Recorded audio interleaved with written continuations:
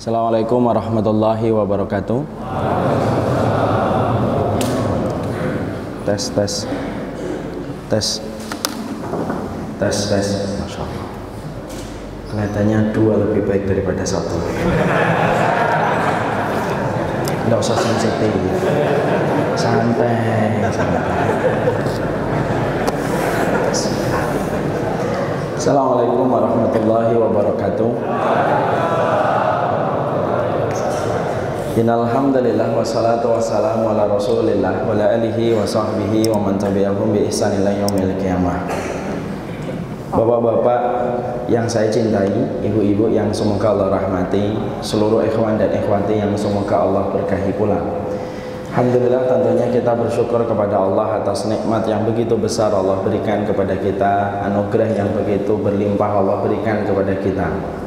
Allah itu sempurna di dalam datnya, sempurna di dalam sifatnya, sempurna pula di dalam ketentuan dan takdirnya. Tidak ada yang salah di dalam syariat Allah, tidak ada yang khilaf di dalam ketentuan takdirnya. Saking indahnya Allah di dalam datnya, maka puncak kenikmatan nanti ketika kita di surga itu adalah bukan ketika bersama bidadari. Tapi puncak kenikmatan ketika kita di surga adalah ketika kita mampu melihat wajahnya Allah secara langsung. Inilah yang menjadikan kita senantiasa beruntung ketika kita menjadi manusia yang beriman kepadanya dan bersandar kepada Allah. Siapa pun yang mereka bersandar kepada Allah tidak akan pernah kecewa dan Allah tidak akan pernah mengecewakan mereka di dunia dan di akhirat. Antum pernah dengar Nabi kecewa? Tidak pernah kecewa. Kenapa para Nabi tidak pernah kecewa? Karena mereka memiliki kunci kebahagiaan di dalam hidup yaitu adalah ketika menyandarkan hati mereka dan jiwa mereka hanya kepada Allah Subhanahu wa taala. Sumber penyesalan kehidupan kita dan sumber masalah dalam kehidupan kita itu adalah ketika kita selalu banyak bersandar kepada makhluk dan meninggalkan sandaran kita kepada Allah. Dan inilah yang menjadikan kita meneteskan air mata, menggigit dalam kesedihan, yaitu adalah ketika manusia dan makhluk itu lebih kita harapkan daripada Allah dan daripada Rasulnya. Inilah yang menjadikan kita bersyukur atas segala nikmat yang Allah berikan kepada kita dan tidak ada keberuntungan kecuali kita beriman kepadanya dan bersandar kepada Allah. Yang kita syukuri tentunya bukan hanya kenikmatan sandang dan papan serta pangan, tapi kenikmatan yang kita syukuri itu adalah kenikmatan yang besar, yaitu salah satunya ketika kita diberikan kemampuan untuk melaksanakan ibadah dan ketaatan rukuknya kita, sujudnya kita, sodakohnya kita, sampai ketika kita mendidik anak kita. Seluruh rangkaian ketaatan yang kita lakukan itu bukan karena hebatnya kita ketika mengaku orang yang beriman. Tapi seluruh ketaatan kita sampai kita berkumpul pada masjid ini. Saya pun ditakdirkan untuk datang dari Surabaya untuk ke sini. Semua ketaatan yang kita lakukan itu merupakan bagian dari hebatnya Allah ketika menolong hamba yang beriman. Dan inilah yang menjadikan kita tidak perlu jumawa, tidak perlu sombong, tidak perlu tinggi hati terhadap setiap ilmu dan setiap ibadah yang kita lakukan. Karena ibadah itu bukan karena hebatnya kamu dan bukan karena hebatnya saya. Tapi semua itu adalah hebatnya Allah ketika menolong hamba yang beriman. Makanya kalau ada orang yang sombong dalam ibadah yang dilakukan, para ulama itu mengatakan orang yang sombong itu yang paling tercela adalah orang yang sombong terhadap ilmu dan ibadah. Baru ngaji sebentar, sombong. Baru beribadah sedikit, menjadi tinggi dan memandang rendah setiap orang yang tidak sama dengan dia. Maka itu merupakan perkara di antara kesombongan yang paling tercela. Karena sesungguhnya para ulama mengatakan, kalaulah orang itu sombong dengan hartanya, memang tercela. Tetapi setidaknya harta yang dia sombongkan kelihatan, rumahnya 10 miliar mobilnya 3 miliar jalan dan kelihatan oleh kasat mata kita. Walaupun itu tercela, tetapi kesombongan ini lebih rendah daripada orang yang sombong ketika dia menyombongkan ilmunya dan menyombongkan ibadahnya ilmunya belum tentu pasti benar seluruhnya di hadapan Allah. Ibadahnya belum tentu diterima ketika diteri, ketika dilaporkan oleh malaikat dan itulah yang menjadikan kita semoga setiap ketaatan kita, ibadah kita yang bertambah, tidak ada sikap kita kecuali bersyukur kepada Allah dan tidak ada waktu untuk menyombongkan diri kita di hadapan manusia. Kepada Allah kita bersyukur dan kepada Allah kita menggantungkan urusan kehidupan kita dan semoga Allah selalu menolong kita di dalam setiap kebaikan dan tidak meninggalkan kita walaupun sekejap mata. Salawat dan salam marilah kita panjatkan kepada Nabi Muhammad sallallahu alaihi wasallam. Seorang nabi, seorang rasul yang sempurna pada kehidupan manusia. Penduduk surga itu rasul.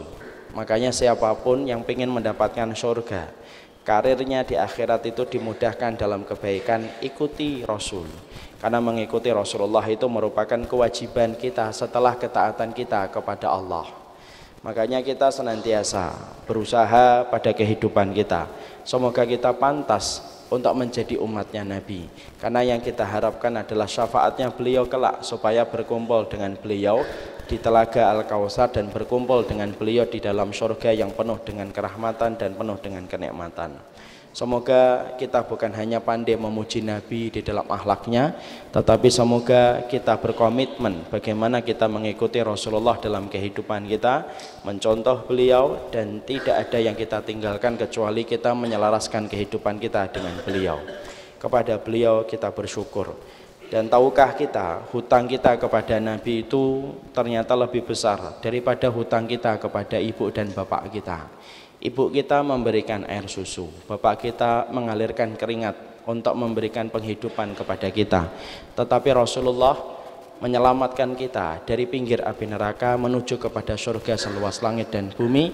Itulah yang menjadikan para sahabat berkata hutang kami kepada Nabi lebih besar daripada hutang kami kepada ibu dan bapak kami. Dan semoga kita termasuk orang yang selalu mampu membayar hutang itu mentaati beliau, meneladani beliau dan menyelaraskan kehidupan beliau pada kehidupan kita kepada Allah kita meminta semoga nanti dikumpulkan dengan Nabi Muhammad pada kehidupan kampung akhirat kita. Alhamdulillah pada kesempatan hari ini akhirnya saya berjumpa dengan masyarakat Jombang. Ini malam pertama saya menginjakkan kaki di kota Jombang. Tapi saya tidak diberikan kesempatan untuk jalan-jalan. Habis ini pun langsung diantar lagi pulang ke Surabaya. Alangkah menderitanya saya ini. Tapi Masya Allah senang sekali bertemu dengan masyarakat Jombang masyarakat yang begitu ramah masyarakat yang begitu baik.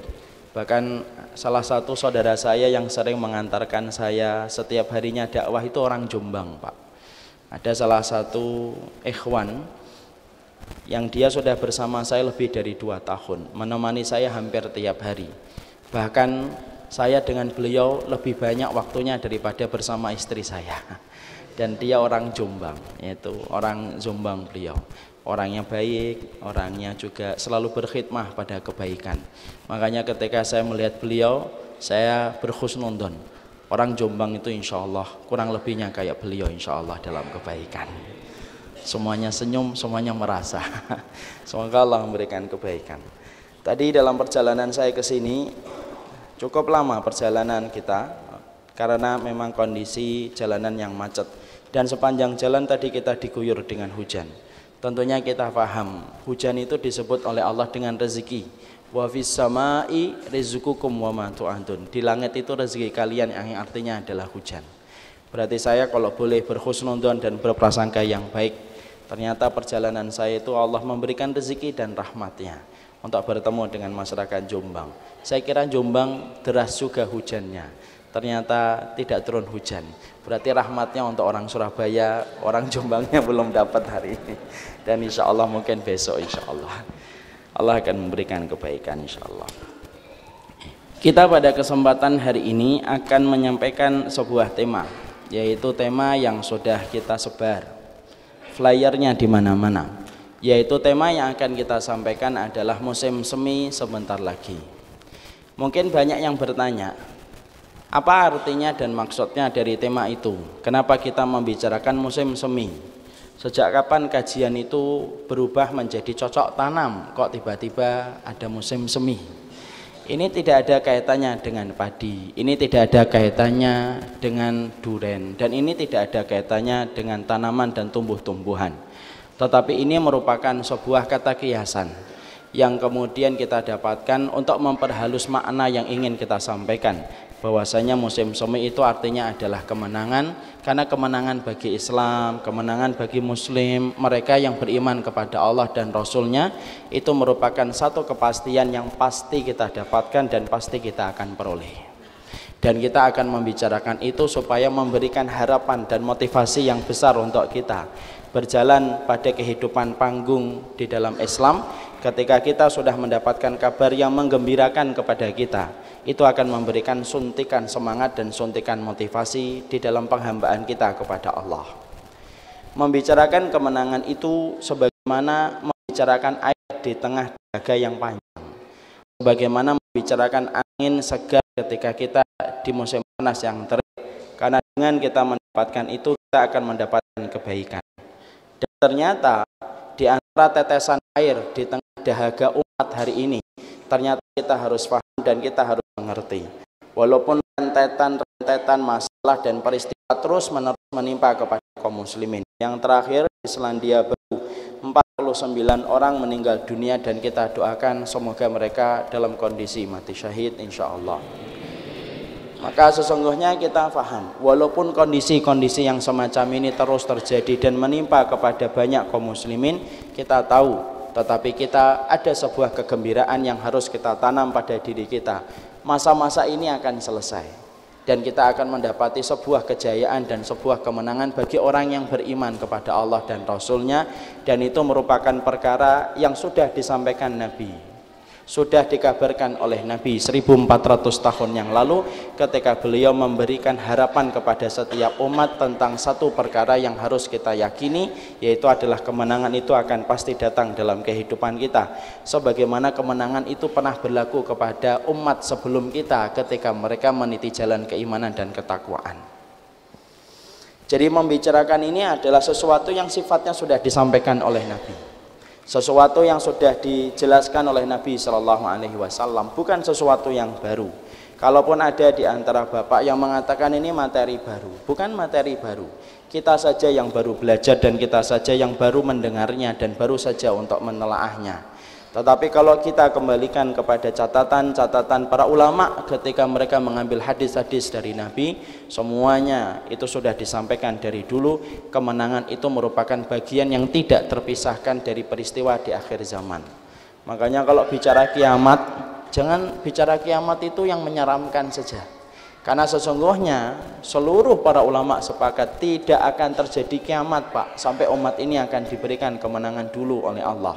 Dan kalau kita sudah diberikan kemenangan, barulah satu persatu tanda kiamat-kiamat besar itu Allah akan perlihatkan dan puncaknya yaitu adalah terbitnya matahari dari arah barat, barulah terjadi kiamat. Saya hari ini kadang-kadang melihat banyak ustadz kalau menyampaikan kiamat selalu ditampilkan pada sisi-sisi yang menyeramkan. Tetapi mungkin beliau lupa untuk menyampaikan tentang kabar gembira Padahal kabar gembira ini datang dari Nabi dan ketika kabar gembira ini datang dari Nabi maka kita wajib untuk mengetahuinya supaya memberikan semangat memberikan tetesan air, memberikan angin segar di tengah teriknya perjalanan kita ketika kita menghamba kepada Allah Subhanahu wa taala. Makanya inilah yang menjadikan kita ingin membahas tentang kemenangan dan seluruh kisi-kisi yang berkaitan tentang kemenangan. Sebelum kita membahas itu, ada dua hal yang saya ingin bahas sebelum kita membahas satu persatu tentang kisi yang berkaitan tentang kemenangan. Yang pertama, mungkin ada yang bertanya, emang kita pernah menang Ustaz? Iya. Kita pernah menjadi kaum yang dijayakan oleh Allah dan dimenangkan oleh Allah dan itu sesuatu yang tidak bisa kita nafikan dan itu ada di dalam catatan sejarah. Makanya saking berkuasanya kaum muslimin pada saat dulu maka kita mendapati ketika kaum muslimin itu diberikan kemenangan oleh Allah kita itu sampai mendapati kekuatan Islam itu betul-betul menjadi kekuatan yang ditakuti. Tetapi ketakutan itu karena orang-orang dolim tidak bisa melakukan seluruh macam kedoliman mereka. Karena ketika keislaman itu dimenangkan oleh Allah maka kita mendapati seluruh keadilan itu ditegakkan oleh Allah dan betul-betul kita mendapati seluruh dunia itu di bawah kekuasaan dan di bawah kekuatan Islam pada zamannya. Makanya saya masih ingat itu pada zaman Khalifah Abbasiyah saya ambilkan salah satu cuplikan Pak di antara kemenangan besar yang pernah dirasakan oleh Islam. Ternyata Islam itu setidaknya ada dua hal yang untuk menggambarkan kekuatan Islam dan kemenangan yang pernah terjadi kepada kaum muslimin. Supaya Bapak nanti bisa cerita serial kepahlawanan kepada anak kita supaya kita tidak terputus mata rantai kepahlawanan Islam Pak. Supaya anak kita tidak mengganti kepahlawanan itu dengan Superman dan Batman, fiktif dan bohong. Saya akan sampaikan satu. Ada satu peperangan yang ada dalam Islam itu yang disebut dengan peperangan Datus Salasil antara Islam dengan kaum Persia. Kenapa dinamakan dengan peperangan Datus Salasil? Perhatikan Pak.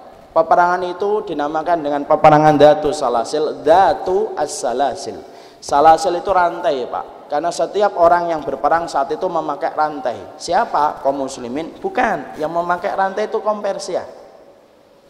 Orang Persia itu orang Romawi dan Persia pada zaman ketika Islam itu mulai dimenangkan oleh Allah maka sesungguhnya orang-orang kafir itu berada pada ketakutan yang luar biasa. Sampai-sampai takbirnya kaum muslimin itu membuat mereka gemeter. Masya Allah kalau beda dengan kita hari ini kita takbir aja. Yang ditakbirin malah tidur Pak. Kalau kemudian dulu itu orang-orang Romawi, orang-orang Persia ketika mereka mendengar takbir yang dikumandangkan setiap orang yang beriman kepada Allah, mereka ketakutan. Sampai kemudian para komandan-komandan Persia itu mereka berpikir, mereka kemudian merenungkan dan mereka memikirkan gimana ini untuk meningkatkan mental pasukan kita supaya betul-betul nanti ketika berperang dengan kaum muslimin itu jangan sampai mereka kabur sebelum peperangan itu selesai. Akhirnya komandan itu memberikan ide dan masukan gini nanti pasukan kita dirantai satu-satu kalau nanti ada yang kabur ayo jangan pergi dulu belum selesai. Nanti biar masuk lagi dalam peperangan. Dan ternyata ide itu diterima. Sampai kemudian akhirnya pasukan Persia yang jumlahnya ribuan itu pakai rantai dia. Sampai ketika menghadapi kaum muslimin ketika pakai rantai dinamakan peperangan itu datus salasil, peperangan yang memakai rantai. Karena mereka akan kabur kalau tidak dirantai ketika mendengar kalimat takbir itu dikumandangkan oleh kaum muslimin pada saat itu. Takbir yang datang dari hati yang betul-betul beriman kepada Allah dan takbir yang datang ketika memurnikan ibadah mereka kepada Allah itu menggetarkan musuh-musuhnya Allah. Tapi justru ketika kompersia dalam kondisi yang semacam itu dalam sekejap peperangan Datu Salasil yang dipimpin oleh Amr bin As dimenangkan peperangan itu oleh kaum muslimin. Kenapa? Karena begitu mudah untuk diserang. Sekalinya satu jatuh, jrep dibunuh. Yang satunya tinggal nunggu untuk kemudian diputus, untuk kemudian ditusuk satu per satu. Sampai peperangan itu begitu mudah dimenangkan oleh kaum muslimin. Itu kita sampaikan supaya kemudian kita ini jangan inferiority jangan sampai kemudian kita ini merasa rendah. Jangan sampai ngerasa rendah. Karena sesungguhnya kaum ini kaum yang telah beriman kepada Allah semuanya dari depan sampai belakang ini adalah kaum yang pernah dimenangkan oleh Allah Pak kalau kemudian orang yang beriman dulu pernah dimenangkan oleh Allah sesuatu yang sangat mungkin terjadi adalah Allah akan kembali memenangkan agama ini sebagaimana Allah pernah memegang, memenangkan agama ini pada zaman terdahulu yang kedua untuk menggambarkan kekuatan yang dimiliki kaum muslimin Pak kita dapati pada zaman Abbasiyah ada seorang khalifah itu namanya Mu'tasim Pak. Mu'tasim billah. Ternyata ada seorang wanita di Amuriah. Di Amuriah itu ujung dari Asia. Itu kemudian jilbabnya ditarik sama seorang laki-laki, sama seorang laki-laki Pak yang tidak beriman sama Allah. Ditarik itu kemudian perempuan itu jatuh ketika perempuan itu jatuh maka kemudian perempuan itu memanggil kata ya muhtasimah eh muhtasim padahal dia di Amuriah muhtasim ada di Baghdad ribuan kilometer ternyata kata-kata itu kemudian dipindah dari satu lisan kepada lisan yang lainnya dan akhirnya nyampe Pak kepada Mu'tasim. Mu'tasim sampai kemudian berkata yang membawa berita itu apa yang diucapkan perempuan itu ketika ditarik jilbabnya sampai tersingkap auratnya itu apa? Dia memanggil dirimu sebagai khalifah. Ya Mu'tasim. Langsung Pak Mu'tasim hanya untuk membela kehormatan satu wanita. Tidak dibunuh Pak. Hanya ditarik jilbabnya dengan cara yang dolim. Maka kemudian Allah mengirimkan pasukan itu. Maka kemudian Mu'tasim mengirimkan pasukan dari Baghdad. Kepala dari pasukan yang dikirim oleh Mu'tasim itu menyentuh sampai Amuriah ekor dari pasukan itu belum keluar dari Baghdad Pak saking panjangnya dan ribuan orang yang dikirimkan oleh Mu'tasim untuk membela kehormatan. Satu wanita sampai Amuriah jatuh dan mereka meminta maaf kesalahan mereka kepada seorang wanita yang ditarik jilbabnya. Sekuat itu Islam pada zaman itu Pak. Tapi sekuat itu tidak berbuat tolim tidak menumpahkan darah. Jangan diajari kaum muslimin tentang toleransi. Islam itu sudah belajar tentang toleransi. Itu sama dengan ngajarin ikan berenang sama dengan ngajarin orang Jawa membuat bakwan. Karena kemudian kita sudah paham tentang toleransi. Mana ada kekuatan Islam ketika menang di satu daerah kemudian memberikan kedoliman dan memberikan intoleransi. Tidak ada Pak catatan sejarah.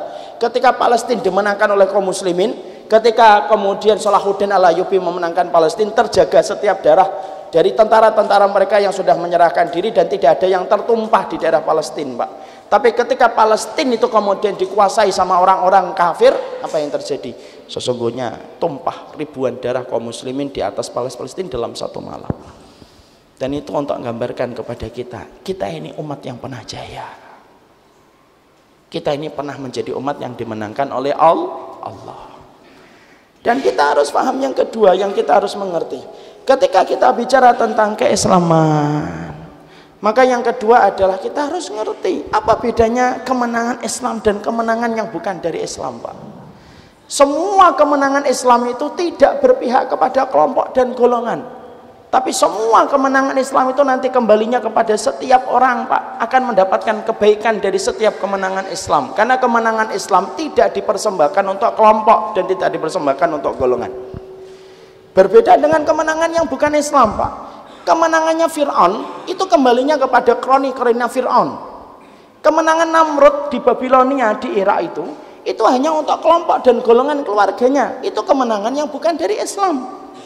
Tapi kemenangan Nabi, kemenangan Islam itu bedanya dengan kemenangan yang bukan Islam itu adalah kemenangan Islam itu tidak pernah untuk kelompok dan golongan tapi kemenangan Islam itu dipersembahkan untuk keadilan sesuai dengan petunjuk kitabullah dan sunnah dan tidak pernah diberikan dan ditujukan hanya untuk kelompok dan golongan.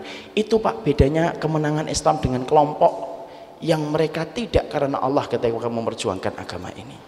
Makanya maaf ya kalau menang Islam orang Yahudi dan Nasoro sekalipun akan terjaga haknya selama mereka kemudian tidak memusuhi Allah dan Rasulnya Makanya mungkin kita pernah melihat Amr bin As itu ketika menguasai Mesir Pak setelah digenggam sama Romawi akhirnya beliau itu pengen bangun istana. Lalu ketika lagi bangun istana ada tanahnya Yahudi yang kemudian memperlambat pembangunan istana yang akan dibangun oleh Amr bin As. Tanah itu sudah ditawar tapi kemudian ketika ditawar nggak dikasih, padahal gantinya bukan ganti rugi, bukan ganti buntung, gantinya ganti untung. Dan itu benar. Di kamu butuh berapa? Nggak mau dijual. Akhirnya Amr bin As itu karena sudah punya hasrat untuk membuat istana, Pak, ya diambil atas nama prerogatif sebagai seorang gubernur di daerah Mesir. Kok bisa gitu seorang sahabat Ustaz? Sahabat tidak maksum. Tetap kadang-kadang berbuat kesalahan. Tapi para sahabat kalau salah diluruskan oleh Nabi dan diluruskan para sahabat yang lainnya.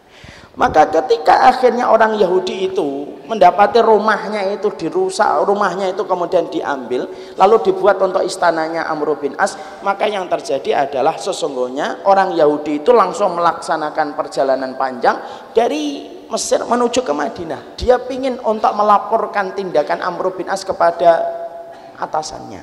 Siapa? Umar bin Khattab radhiyallahu anhu. Dia sudah membayangkan kali kalau sudah sampai di Madinah pasti istananya Umar bin Khattab lebih gede daripada istananya Amr bin As. Sampai di kota Madinah dia nyari, loh, tidak ada bangunan besar, nggak ada istana, Sampai kemudian akhirnya kemudian Yahudi ini nyari mana khalifah kalian, mana Amirul Mainin kalian. Lalu kemudian ditunjukkan Umar bin Khattab yang sedang tidur di bawah pohon kurma. Masya Allah. Lagi tidur di pohon kurma. Dia nggak percaya ini khalifah, ini Amirul Mukminin. Datang Pak, terjadi dialog singkat. Mana istanamu? Inilah istana saya. Bingung orang Yahudi itu. Tapi bingung kemudian dia menyampaikan apa yang dia ingin sampaikan kepada Umar bin Khattab. Dia berkata, saya ini datang jauh-jauh dari Mesir, datang ke kota Madinah untuk melaporkan bawahanmu yang bernama Amr bin As ketika menjadi gubernur di daerah Mesir. Karena Mesir itu dulu pada zaman dulu itu dia wilayah provinsi, bukan wilayah negara. Anda ya, Masya Allah. Tidak terasa ya dua jam ya, Masya Allah. Masya Allah. Kita adzan dulu nanti kita lanjutkan.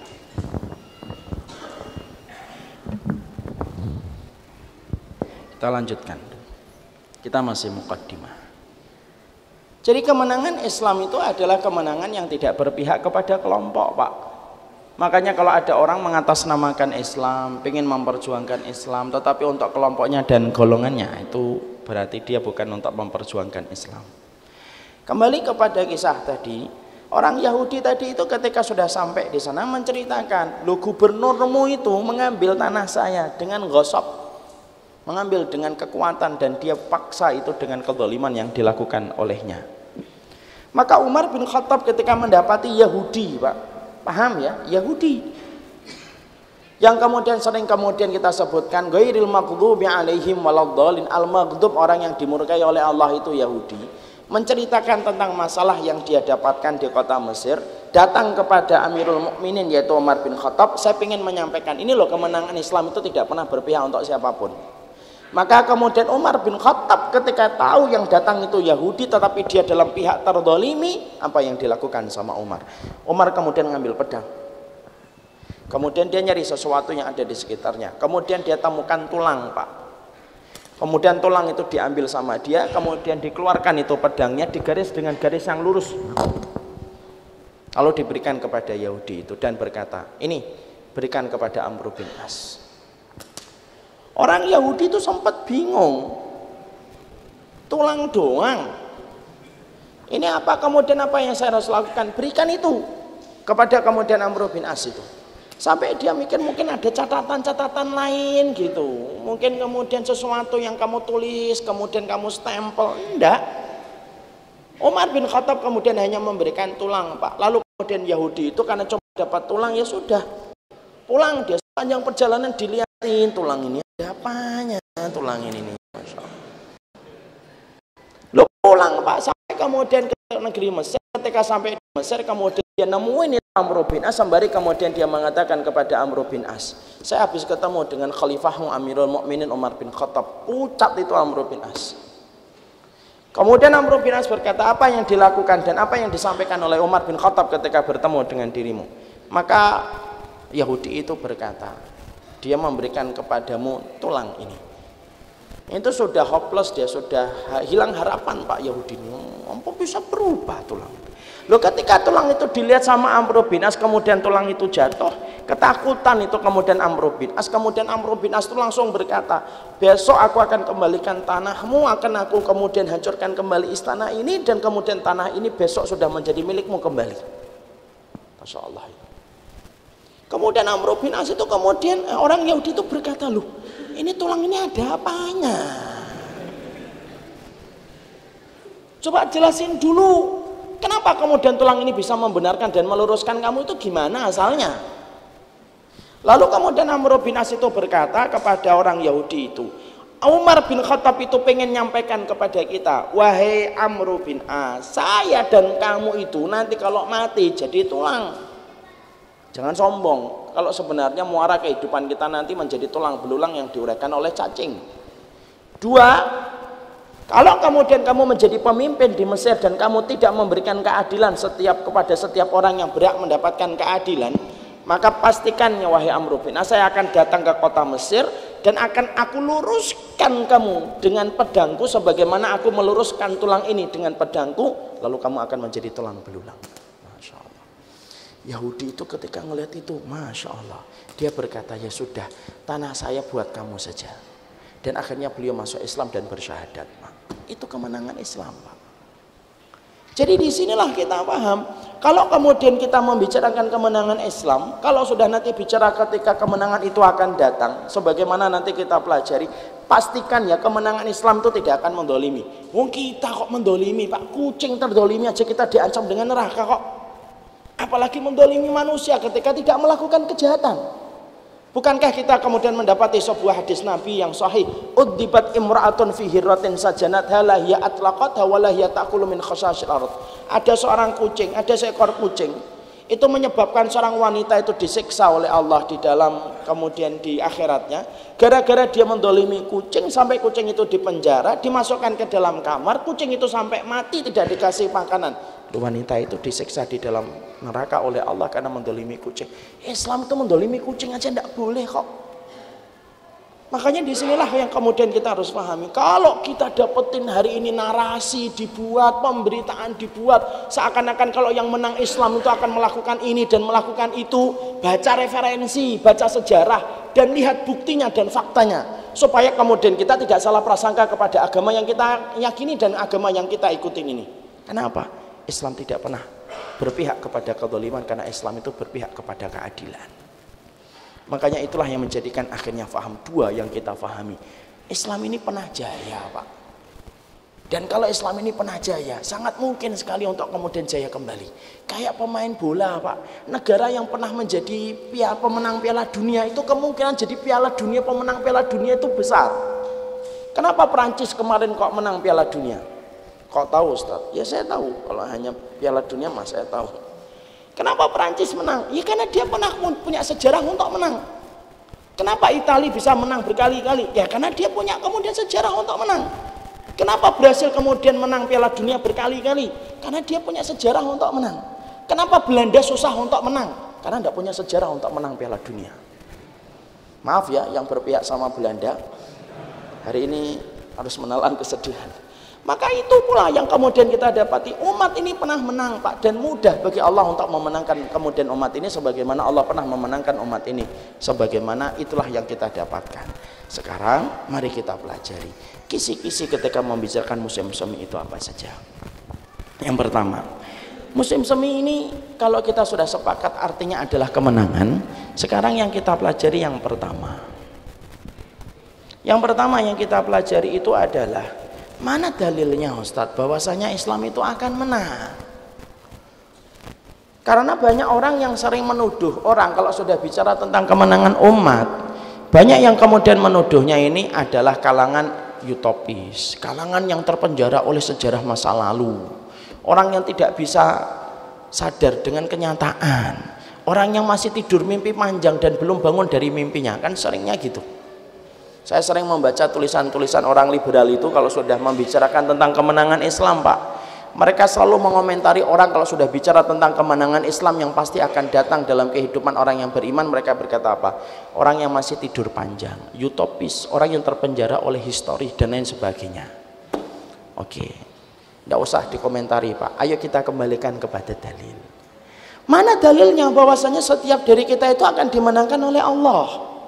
Saya kemudian akan menyampaikan dalilnya setidaknya kemudian dari tiga. Dalil dari Quran, dalil dari hadis, kemudian dalil secara akal Pak. Supaya betul-betul memuaskan kita dan kita bisa menjawab. Bahwasanya ketika bicara tentang kemenangan itu bukan bicara sesuatu yang sifatnya mustahil terjadi. Yang pertama, kemudian kita mendapati di dalam surat As-Saffat. Allah mengatakan pada ayat yang ke-173, Allah menyampaikan wa inna jundana lamul ghalib. Allah kemudian menyampaikan pada surat As-Saffat itu sesungguhnya tentara-tentara kami lahumul ghalibun. Sesungguhnya tentara-tentara kami itu akan dimenangkan oleh Allah dan itu janji dari Allah, Pak. Sesuatu yang bisa dilakukan oleh Allah tapi tidak pernah dilakukan oleh Allah itu apa? Mengingkari janjinya. Dan Allah sudah menyampaikan wa inna jundana lahumul ghalibun. Sesungguhnya tentara-tentara kami itu akan dimenangkan oleh Allah. Makanya Allah juga mengatakan pada ayat yang lainnya wa kana haqqan alaina nasrul mu'minin dan telah menjadi kewajiban kami untuk menolong orang yang beriman. Berarti kemenangan itu sudah dinas oleh Allah di dalam Al-Qur'an. Kalau sudah dinas oleh Allah di dalam Al-Qur'an perkataan kita cuma satu, fa inna asdaqal hadisi kitabullah. Sebenar-benar ucapan itu ucapannya Allah di dalam kitabnya. Artinya pasti menang Pak pasti menang yang belum kita tahu itu cuma satu. Kapan menangnya itu yang belum kita tahu. Tetapi yang jelas bahwasanya kemenangan itu pasti datang. Dan Allah sudah tegaskan di banyak ayat menceritakan tentang itu. Dan satu ayat yang paling terkenal kalau membicarakan tentang kemenangan Islam yaitu ketika Allah berfirman wa inna jundana lahumul qalibun sesungguhnya tentara kami itu pasti akan dimenangkan oleh Allah. Itu dalilnya. Sekarang hadisnya. Mana ayat? Ayatnya sudah hadisnya mana? Hadisnya datang dalam satu riwayat yang sahih ketika Rasulullah SAW menyampaikan kepada kita dalam hadis ini. Rasulullah itu bersabda dalam hadis yang sahih ra'aitu amudal kitab unstuzi'a tahta wisadati. Rasulullah SAW itu mengatakan sesungguhnya ketika aku sedang tidur Allah itu memberikan kepadaku satu wahyu ketika aku dalam kondisi tidur memberikan kepadaku satu ilmu ketika aku lagi tidur. Maka ketika aku tidur maka kemudian tidurku di atas bantal. Untuk tahta wisadati. Diambil dari bawah bantalku itu pancang Pak kata Rasulullah. Ada pancang. Di setiap pancang itu kemudian ditaruh oleh Allah itu kitabullah di sini. Jadi setiap pancang itu untuk ziyatah tawisadati diambil dari bawah tempat aku tidur bantalku itu Allah mengambil pancang itu dan Allah kemudian menempatkan di atas pancang itu kitabullah ditempatkan di atas pancang itu Quran lalu ditanam oleh Allah di setiap penjuru-penjuru dunia dan penjuru bumi Fattaba'tu basori. Aku ketika melihat itu maka aku ikuti satu persatu pancang-pancang itu ketika kemudian diletakkan oleh Allah di atas muka bumi. Aku ikuti terus itu ke mana kemudian pancang-pancang itu ketika diletakkan oleh Allah di atas muka bumi. Itu artinya kemenangan, Pak. Sampai kemudian aku mendapati pancang yang terakhir itu ditanam oleh Allah di atas kota Syam, Pak. Tuh basari aku ngikutin terus itu ke mana pancang-pancang itu ketika diletakkan oleh Allah. Dan aku mendapati pancang itu terakhir kalinya itu adalah di kota Syam. Para ulama hadis ketika menjelaskan itu lalu berkata apa itu arti dan takwil dari pancang yang diletakkan di atasnya itu Quran? Artinya pancang itu adalah kemenangan Allah itu akan memberikan kemenangan satu wilayah, satu wilayah, satu wilayah. Puncak dari kemenangan itu nanti terjadinya di kota Syam, Pak. Makanya terjadinya malhamah kubro. Peperangan besar akhir zaman itu terjadinya di mana? Di kota Syam. Makanya kalau Bapak tanya, ke mana nanti Nabi Isa ketika akan diturunkan oleh, Allah Ustaz? Nabi Isa nanti diturunkan di mana Rul Baidok, yaitu menara putih yang ada di Masjid Umawi yang ada di Damaskus, diturunkannya sebelum subuh diapit oleh dua malaikat kata Rasulullah. Yang mana kalau beliau itu kemudian kepalanya melihat ke bawah maka kelihatan bagaimana rambutnya yang panjang itu berjatuhan. Kalau beliau mengadakan kepalanya begini maka kelihatan bagaimana tetesan-tetesan air itu jatuh dari rambutnya beliau. Dan itu terjadinya semuanya di kota Syam Pak itu menunjukkan kepada kita dalil dari hadis Nabi yang kedua. Bahwasanya setelah ayat yang kedua hadis Islam itu pasti menang Pak. Dan puncak kemenangan nanti ada di kota Syam. Syam itu mana Ustadz? Palestina Tunisia, Yordan. Itu termasuk satu daerah Syam Pak. Dulu itu satu wilayah Pak. Dan itu disebut dengan Syam. Dan Rasulullah sudah mengabarkan itu akan terjadi. Makanya orang yang beruntung itu salah satunya orang yang hidup pada di wilayah Syam Pak sampai kemudian Rasulullah mengatakan tuh bali ahli Syam. Beruntung sekali orang yang mereka itu menjadi penduduk Syam. Fa inna malaikatar rahman absitat basitatun ajnihatiha ala ardi Syam. Karena sesungguhnya malaikat ar-rahmah itu membentangkan sayapnya di atas wilayah Syam. Itu dalil yang kedua. Yang ketiga kemudian kita kalau sudah mengetahui apa dalil akalnya. Dalil akalnya adalah sesungguhnya Pak.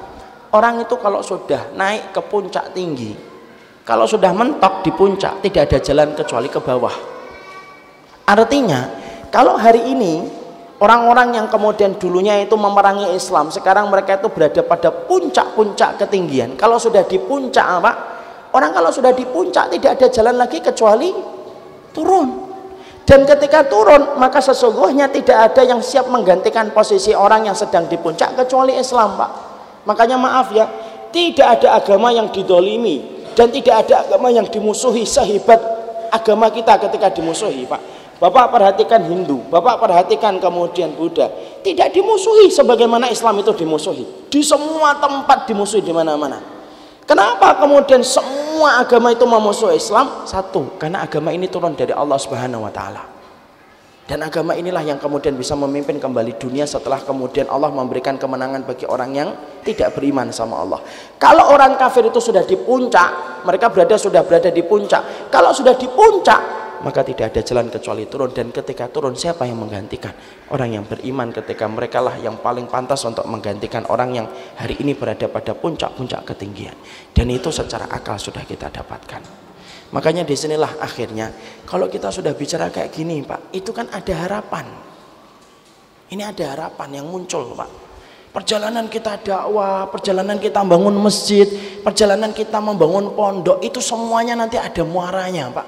Muaranya satu, kemenangan Islam itu nanti Allah akan berikan sesuai dengan petunjuk Quran, petunjuk hadis dan petunjuk dalil akal yang kita dapatkan dari kebenaran yang disampaikan oleh Allah dan Rasulnya. Jadi kalau hari ini orang ada yang bertanya, Ustadz kenapa kodoliman terus menerus? Tadi malam itu ada yang telepon saya. Ketika habis pasca kejadian di New Zealand itu dia cerita kenapa kok terus-terusan gini ya Ustadz? Rohingya aja belum selesai. Sinjian belum selesai Ustadz. Sekarang di Selandia Baru. Padahal negara itu negara yang terkenal damai Pak. Terkenal yang kemudian tenang Selandia Baru itu New Zealand itu tapi kenapa kemudian 49 orang itu kemudian jadi korban? Saya kemudian berkata sama beliau, wajar beliau gelisah, gusar. Tenang pak, sabar. Enggak boleh emosi. Tapi di sini kita dapatkan sebuah hikmah yang besar. Malam itu kalau sudah gelap, Berarti apa Pak kalau malam sudah gelap? Sebentar lagi subuh datang, sebentar lagi sebentar lagi fajar itu menyingsing. Dan ketika kita mendapati hari ini kok kedoliman bertumpuk-tumpuk Pak. Sinjiang ratusan ribu orang di penjara raksasa di daerah Cina. Belum selesai ya Pak. Lu Rohingya belum selesai juga masalahnya. Belum Palestina, belum Suriah dan banyak negara kaum muslimin juga belum selesai. Kenapa kemudian kita mendapati berita yang menyedihkan terjadi kepada saudara kita tanpa mereka melakukan apa-apa? Simple. Berarti malamnya sudah terlalu gelap. Kalau sudah terlalu gelap, Berarti fajar itu sebentar lagi menyingsing. Dan itulah fajar bagi kita kalau kita beriman sama Allah dan Rasulnya.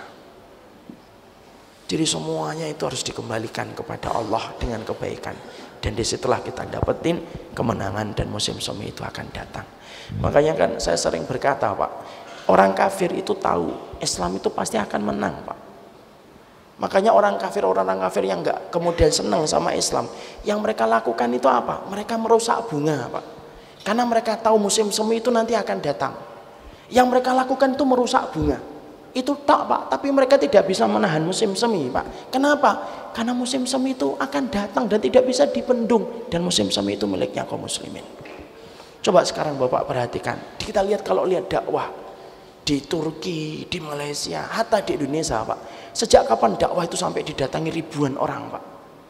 Kalau kita tarik 10 tahun, 15 tahun yang lalu, nyari satu kajian yang membludak orang itu susah, Pak. Apalagi kemudian dihadiri anak muda. Sekarang enggak itikaf penuh, Pak. Kalau di Jakarta itu itikaf penuh.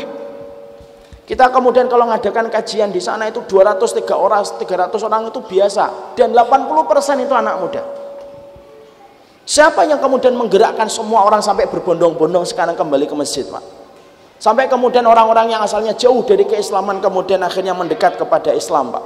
Sampai acara-acara sekarang itu akhirnya membuat itu acara-acara yang kontennya itu konten agama, Pak. Karena ratingnya semakin tinggi. Itu menunjukkan kepada kita itu semakin jelas. Allah kalau sudah ngatur kebenaran dan Allah sudah ngatur kemenangan. Kemenangan itu kayak air. Dia ngerti jalan kemudiannya. Dia ngerti rutenya dan jalannya dan pasti akan menemukan tempatnya ketika sudah ditentukan oleh Allah itu kita pasti menang. Kalau kita beriman sama Allah dan Rasulnya. Itu yang pertama. Yang kedua yang kita kemudian peroleh ketika kita sudah membicarakan kemenangan. Yang kedua kalau kita sudah membicarakan kemenangan berarti yang tersirat itu apa? Berarti kalau kita sudah membicarakan kemenangan yang tersirat dari kemenangan itu ada beberapa hal. Satu kalau sudah membicarakan menang berarti menang itu ada musuh adalah kon karena ada kata menang. Yang mengatakan menang Allah bukan saya. Wa inna jundana lahumul ghalibun. Sesungguhnya tentara kami itu pasti menang berarti kalau sudah bicara menang konsekuensinya kalau kita bicara menang itu berarti ada yang jadi lakon ada yang jadi musuh sebagaimana kalau kita ngelihat film pak ada menangnya berarti ada lakonnya ada musuhnya maka kemudian kita juga harus ngerti kalau kemudian Allah sudah menyampaikan kepada kita bahwasanya kemenangan itu akan berlaku kepada kaum muslimin dan ini satu ketentuan yang tidak bisa ditolak dalam kehidupan kita, berarti dalam konsekuensi memahami kemenangan itu apa? Kemenangan itu yang pertama ada kisinya, ada kata musuh, ada kata lakon. Dan ternyata kita itu setiap orang yang beriman itu memang punya musuh, Pak. Dan yang menyampaikan bahwasanya setiap orang yang beriman itu punya musuh Allah. Makanya ketika kita memahami menang, berarti kalau memahami menang, maklumi. Kalau sudah disebutkan kata menang, kamu harus terima sebuah kata yang disebut dengan kata lakon dan musuh. Ada yang jadi lakon, ada yang jadi musuh. Dan ternyata setiap orang yang beriman, jangan kaget, setiap orang beriman itu memiliki musuh, Pak. Jadi setiap orang yang kemudian dia beriman kepada Allah dan Rasulnya Konsekuensi ketika kita beriman kepada Allah dan Rasulnya Itu Allah mempersiapkan musuh dalam kehidupan kita Masa Ustaz? Iya. Mana dalilnya kalau setiap orang beriman itu punya musuh? Allah yang menyampaikan surat Al-An'am 112. Allah kemudian berfirman pada pada ayat ini. Wa kadzalika ja'alna likulli nabiyyin aduwan syayatinal insi wal jinni yuhi ba'dhum ila ba'din zukhrufal qawli gurura.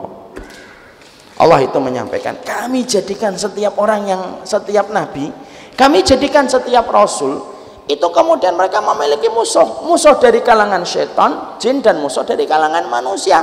Dan mereka membisikkan sebuah kata-kata untuk kemudian memberangus orang yang berjalan di atas kebenaran. Berarti kemudian di situ akhirnya kita dapati setiap orang kalau sudah membicarakan menang jangan hanya bicara senang sama menang tapi tidak paham konsekuensinya karena konsekuensi kalau kita sudah bicara menang, berarti Allah itu sudah mempersiapkan ujian bagi kita ketika kita mendapatkan musuh. Dan itu supaya kita tidak kaget kalau kita beriman kepada Allah itu pasti memiliki konsekuensi, memiliki musuh. Musa Pak, lakonnya Pak, musuhnya siapa? Fir'aun. Ibrahim lakonnya, siapa musuhnya? Namrud. Kemudian kita dapati Rasulullah lakonnya. Siapa musuhnya? Abu Jahal dan Abu Lahab. Dan musuh itu ternyata ada. Dan itu Allah sampaikan dalam surat Al-An'am 112. Jangan kaget. Bukan akhirnya kita agama yang kemudian memusuhi dan kemudian senang pada permusuhan. Enggak. Kita tidak pernah dan dilarang untuk memancing permusuhan dan memulai keributan dalam Islam itu tidak boleh. Haram. Karena sesungguhnya orang yang beriman adalah orang yang cinta pada perdamaian dan ketenangan tapi walaupun kita cinta kepada ketenangan, ingat tidak semua orang yang memandang agama ini itu dengan pandangan rahmat Pak. Dan tidak semua orang ketika memandang agama ini itu agama. Pandangannya itu baik karena banyak orang yang membenci agama ini walaupun kita tidak pernah menyulut permusuhan dan tidak pernah menyulut kebencian di antara mereka. Dan itulah yang akan menjadi musuh. Dari kalangan setan sampai kalangan kemudian manusia. Wong setan aja musuh kok Pak. Kita ini sama setan kan musuh kan Pak Makanya siapa yang mengeluarkan Nabi Adam dari surga? Setan, Pak.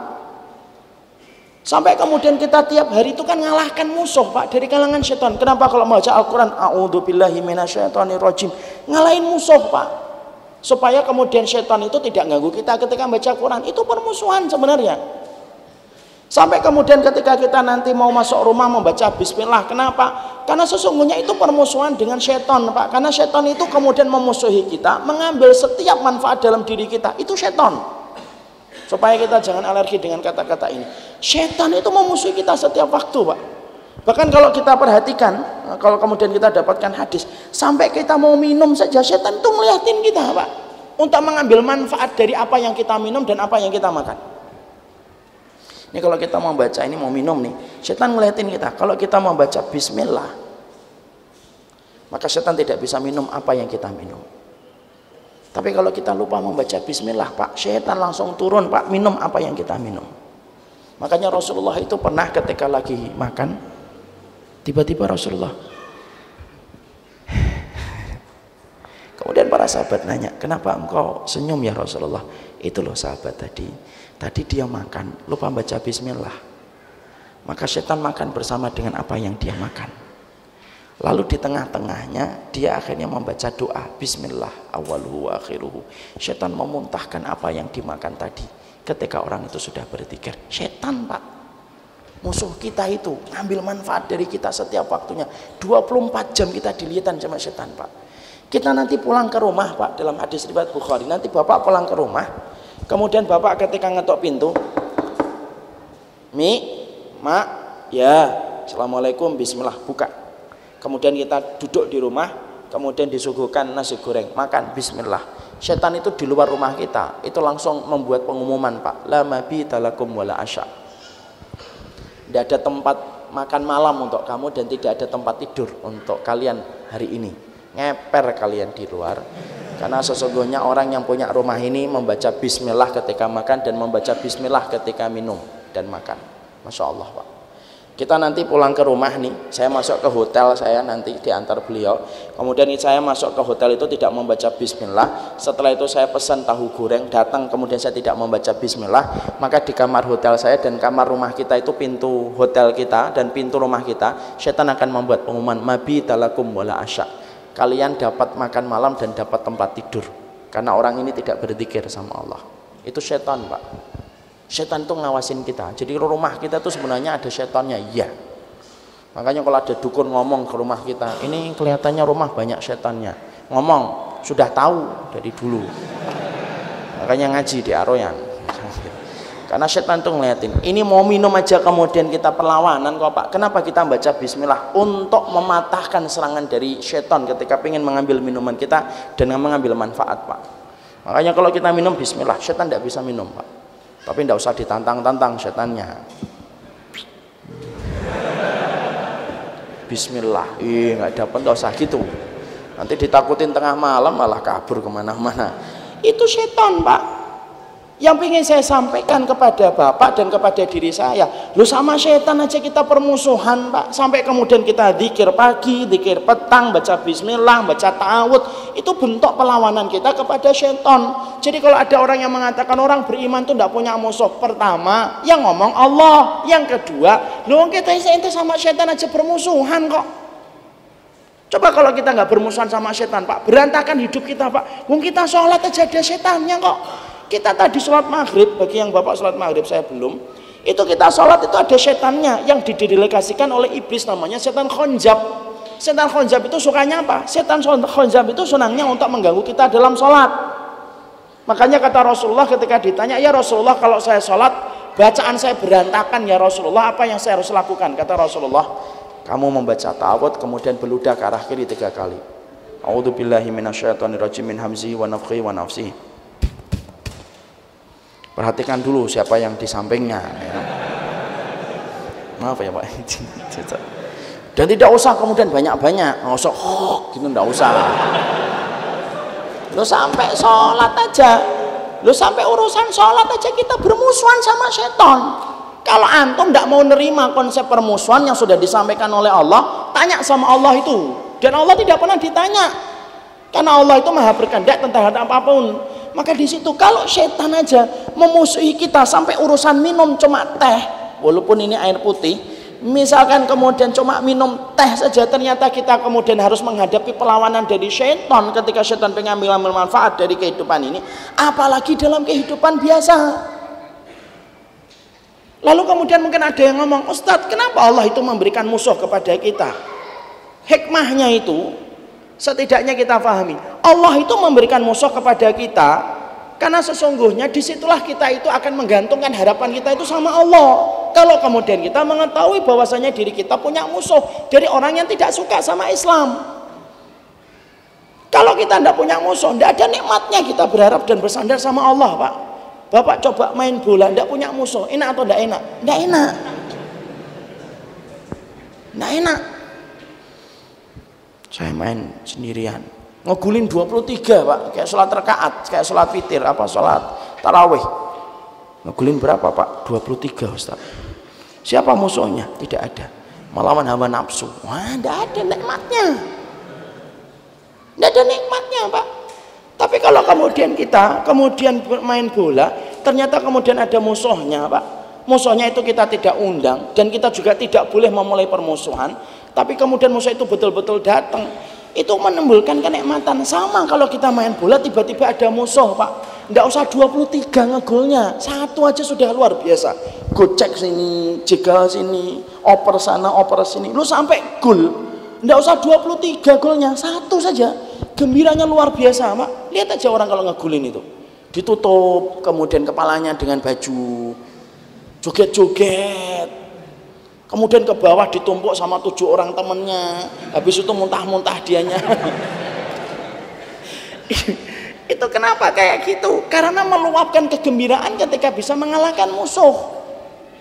Makanya kenapa Nabi Musa itu kemudian diberikan musuh yaitu Fir'aun? Kenapa Ibrahim diberikan musuh yaitu Namrud? Lu kalau Nabi Musa Pak tidak diberikan musuh maka dia mungkin tidak akan berharap sama Allah tapi ketika kita memiliki musuh bahwasanya ada kalangan setan dan kalangan manusia yang tidak senang dengan kebenaran, kalau kita kemudian mendapati ada musuh, di situlah kita akan berharap kepada Allah dan menikmati penghambaan kita kepada Allah ketika kita menggantungkan urusan kehidupan kita itu hanya kepada Allah. Itu nikmatnya, Pak. Dan jangan kaget. Dan Bapak tahu kenapa sampai Allah itu kalau kita perhatikan, Bapak perhatikan apa umat sebelum Nabi Muhammad Umat sebelum Nabi Muhammad itu Samud Pak, Ad, Lut. Semuanya dihancurkan oleh Allah Pak. Tapi ada satu kaum dari umat sebelum kita yang mana kaum itu banyak melakukan kejahatan-kejahatan luar biasa tapi justru masih disisakan oleh Allah. Siapa itu? Kaum Yahudi Pak. Pernah nggak Bapak bertanya, kenapa Samud hancur? Kenapa Ad hancur? Kenapa kaum Lut hanya melakukan satu dosa yaitu homo, dihancurkan oleh Allah, diangkat oleh malaikat ke tempat yang tinggi kaum Lut itu sampai terdengar suara lolongan anjingnya itu ketika ketakutan dihancurkan. Saumud dihancurkan. Kaum Ad dihancurkan semuanya. Cuma satu yang malah disisakan.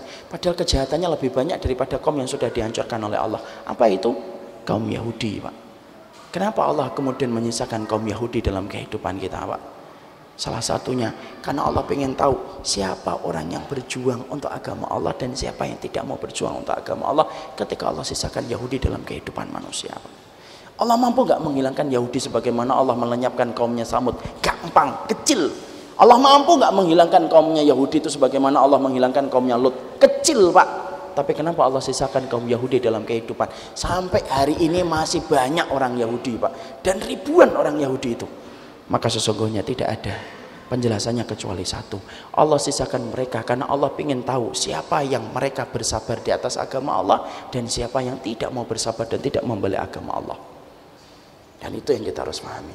Mungkin ada yang bertanya Ustadz kenapa orang Yahudi itu kok banyak memiliki finansial banyak memiliki ekonomi banyak memiliki kekuatan? Jawabannya ada dalam surat Al-Isra. Sekarang dibuka surat Al-Isra. Surat yang ke-17 ada yang membuka, ada yang membaca. Dibuka surat Al-Isra. Antum akhi. Sudah dapat surat yang ke-17. Ada yang mungkin kan bertanya, kenapa Yahudi itu kok sekarang kuat ya Ustaz? Ternyata pertanyaan itu sudah disampaikan oleh Allah di dalam Al-Quran surat yang ke-17 sudah? Buka pada ayat yang keempat sampai ayat yang ketujuh. Pelan-pelan jawabnya pelan-pelan bacanya. Oke, mic. ada Bismillahirrahmanirrahim وقضينا إلى بني إسرائيل في الكتاب terjemahnya saja terjemahnya saja oh. dan kami tetapkan terhadap Bani Israel dalam kitab itu kamu pasti akan berbuat kerusakan di bumi ini dua kali dan pasti kamu akan menyombongkan diri dengan kesombongan yang besar ayat yang keempat kemudian ayat ya, kelima di sini Allah menyampaikan kami tetapkan orang Yahudi itu akan berbuat kerusakan dua kali. Biarkan nanti masih ada. Di sini Allah menyampaikan kepada kita, nanti dibuka tafsirnya. Allah itu menetapkan Yahudi itu melakukan kejahatan dua kali. Para ulama berbeda pendapat tentang kejahatan yang dilakukan Yahudi dua kali, Pak. Saya akan mengambilkan salah satu di antara pendapatnya Imam Qurtubi.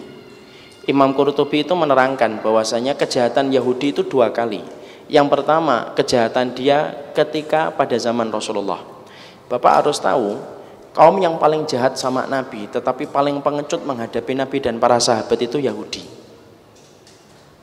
Siapa yang menyihir Nabi? Yang menyihir Nabi Yahudi Pak, Labid bin Aqsam namanya. Dan kita harus paham ya, Nabi itu pernah kena sihir Pak. Sihir Nabi itu termasuk sihir yang paling berat. Beliau itu seakan-akan sudah mencampuri istrinya, padahal beliau sudah lama tidak mencampuri istrinya. Itu sihir yang berat kata Abdullah bin Mas'ud. Makanya nanti kalau Bapak membuka tafsir, nanti dibuka tafsir Al-Quranul Adim, dibuka nanti tafsirnya, dibuka plastiknya Pak. Biasanya beli buku itu tidak dibuka plastiknya, dibuka plastiknya dibaca. Ternyata Nabi Muhammad itu pernah disihir Pak. Dan sihir itu menjadikan Nabi itu merasa telah mencampuri istrinya padahal sudah lama tidak mencampuri istrinya. Mungkin ada yang bertanya, saya agak sedikit keluar tema. Kenapa Nabi Muhammad kok disihir Ustaz? Nabi Muhammad itu disihir, itu hikmah Pak. Supaya kita ngerti bagaimana cara mengobati orang yang kena sihir kalau Nabi kita pernah kena sihir. Itu yang kita harus pahami. Maka kemudian siapa yang menyihir Nabi? Labid bin A'sam.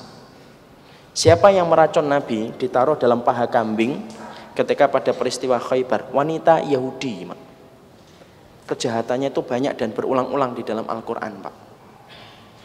Puncaknya orang Yahudi itu berkhianat kepada Nabi itu berulang-ulang Pak. Puncaknya orang Yahudi itu berkhianat pada perang Azab Perang Ahzab itu nama lainnya perang Khandaq, perang Parit, Pak. Kenapa kok dinamakan perang Khandaq itu perang Ahzab? Perang Ahzab itu artinya koalisi, Pak. Artinya orang musyrikun saat itu ketika menghadapi kaum muslimin sudah mulai putus asa dia. Makanya dia minta koalisi dari berbagai macam kabilah untuk membantu mereka memerangi Nabi Muhammad yang ada di kota Madinah. Dalam perang Badar, orang musyrik itu masih terlalu pede untuk bisa menghadapi Islam. Dalam perang Uhud, mereka juga masih pede untuk menghadapi Islam, Pak tapi dalam perang kondak mereka sudah mulai runtuh kepercayaannya Pak makanya kalau ada orang sudah mengajak teman untuk memusuhi Islam sudah koalisi itu menunjukkan dia sudah mulai takut sama Islam. Karena tidak bisa menghadapi Islam sendirian. Itu yang kita harus pahami. Makanya dinamakan perang Ahzab. Maka kemudian dalam perang Ahzab mereka itu akhirnya meminta bantuan dari Bani Quraidah. Padahal Bani Quraidah saat itu Bani Quraidah itu sudah menyepakati perjanjian dengan Nabi Muhammad bahwasanya mereka tidak akan pernah menyerang Nabi Muhammad. Perjanjian itu dibatalkan, Pak. Oleh kemudian orang Yahudi itu. Ketika akhirnya mereka berkhianat membantu orang musyrikun Mekah ketika menyerang dalam perang Ahzab, Pak. Makanya dalam perang Ahzab sampai Allah nistakan orang musyrikun, sampai kemudian orang musyrikun itu kocar kacir dan mereka pulang ke kota Mekah dalam kondisi terhina. Itu perang Khandaq atau yang kita sebut perang Ahzab. Ketika para sahabat akan meletakkan pedang, Pak, setelah mereka terlepas dari ancaman orang musyrikun yang mengepung kota Madinah, sebelum mereka meletakkan pedang, kemudian Rasulullah itu memberikan perintah, jangan diletakkan pedangnya. Kepung itu Bani Quraidah. Itu kejahatan mereka yang pertama, Pak. Dikepung, Pak, Bani Quraidah itu, Pak, oleh Rasulullah SAW dan para sahabat. Tidak terkecuali ada seorang sahabat itu namanya Sa'ad bin Mu'ad Bapak tahu Sa'ad bin Mu'ad itu salah satu sahabat pembesarnya orang Ansor. Sa'ad bin Mu'ad itu dalam perang Azab itu dipanah dia sama Ibnu Abi Ariqah. Panah itu nancep Pak di sini Pak. Ngeluarin darah, sempat tersungkur dia. Sempat lemah mau meninggal dunia. Tiba-tiba Sa'ad bin Mu'ad itu berkata, "Ya Allah, kalau masih ada kalau masih ada urusan antara nabimu, rasulmu dengan Bani Quraidah, maka izinkan saya membantu Nabi menyelesaikan urusan mereka dengan Bani Quraidah. Allah ngasih karomah, Pak. Maka panah yang dilesatkan oleh Ibnu Abi Ariqah yang nancep di sini tiba-tiba kering darahnya, set. Dan tiba-tiba kekuatannya saat bin Mu'ad bertambah.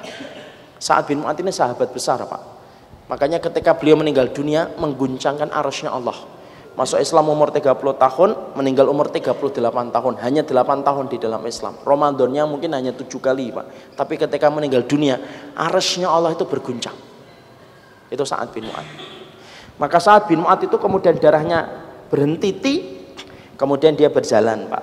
jalan dia bersama dengan para sahabat ngepung Bani Quraidah. Bani Quraidah itu kayak Bani Khaybar, kayak kemudian Bani Nadir yang kemudian mereka itu Bani Yahudi, Pak. Maka mereka dikepung atas pengkhianatan mereka itu puncaknya kejahatan Yahudi, kata sebagian para ulama. Mereka dikepung, orang Yahudi kemudian berkata, kami akan menyerah, tapi dengan satu syarat yang memutuskan urusan kami adalah Sa'ad bin Mu'ad. Kenapa? Karena Sa'ad bin Mu'ad itu punya korelasi dengan Bani Quraidah dan mereka berharap Sa'ad bin Mu'ad itu berbelas kasih sama mereka ketika ditunjuk menjadi mediator antara mereka dengan Rasulullah. Masya Allah. Kemudian dikepung, kalah, mereka nunjuk Sa'ad bin Mu'ad. Ternyata Sa'ad bin Mu'ad itu tegas, Pak.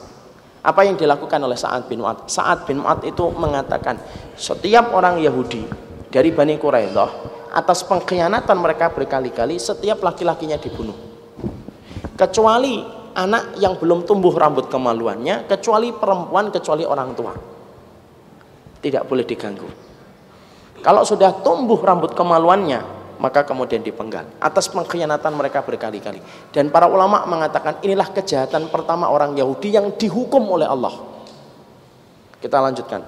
Bacanya pelan-pelan terjemahnya. Ulangi lagi di ayat yang keempat tadi.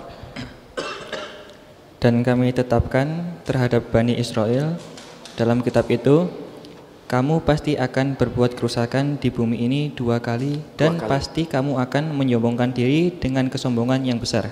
So, kejahatan mereka yang pertama sudah kita tadi terangkan. Teruskan ayat yang kelima. Maka Apabila datang saat hukuman bagi kejahatan yang pertama dari kedua kejahatan itu, kami datangkan kepadamu hamba-hamba kami yang perkasa.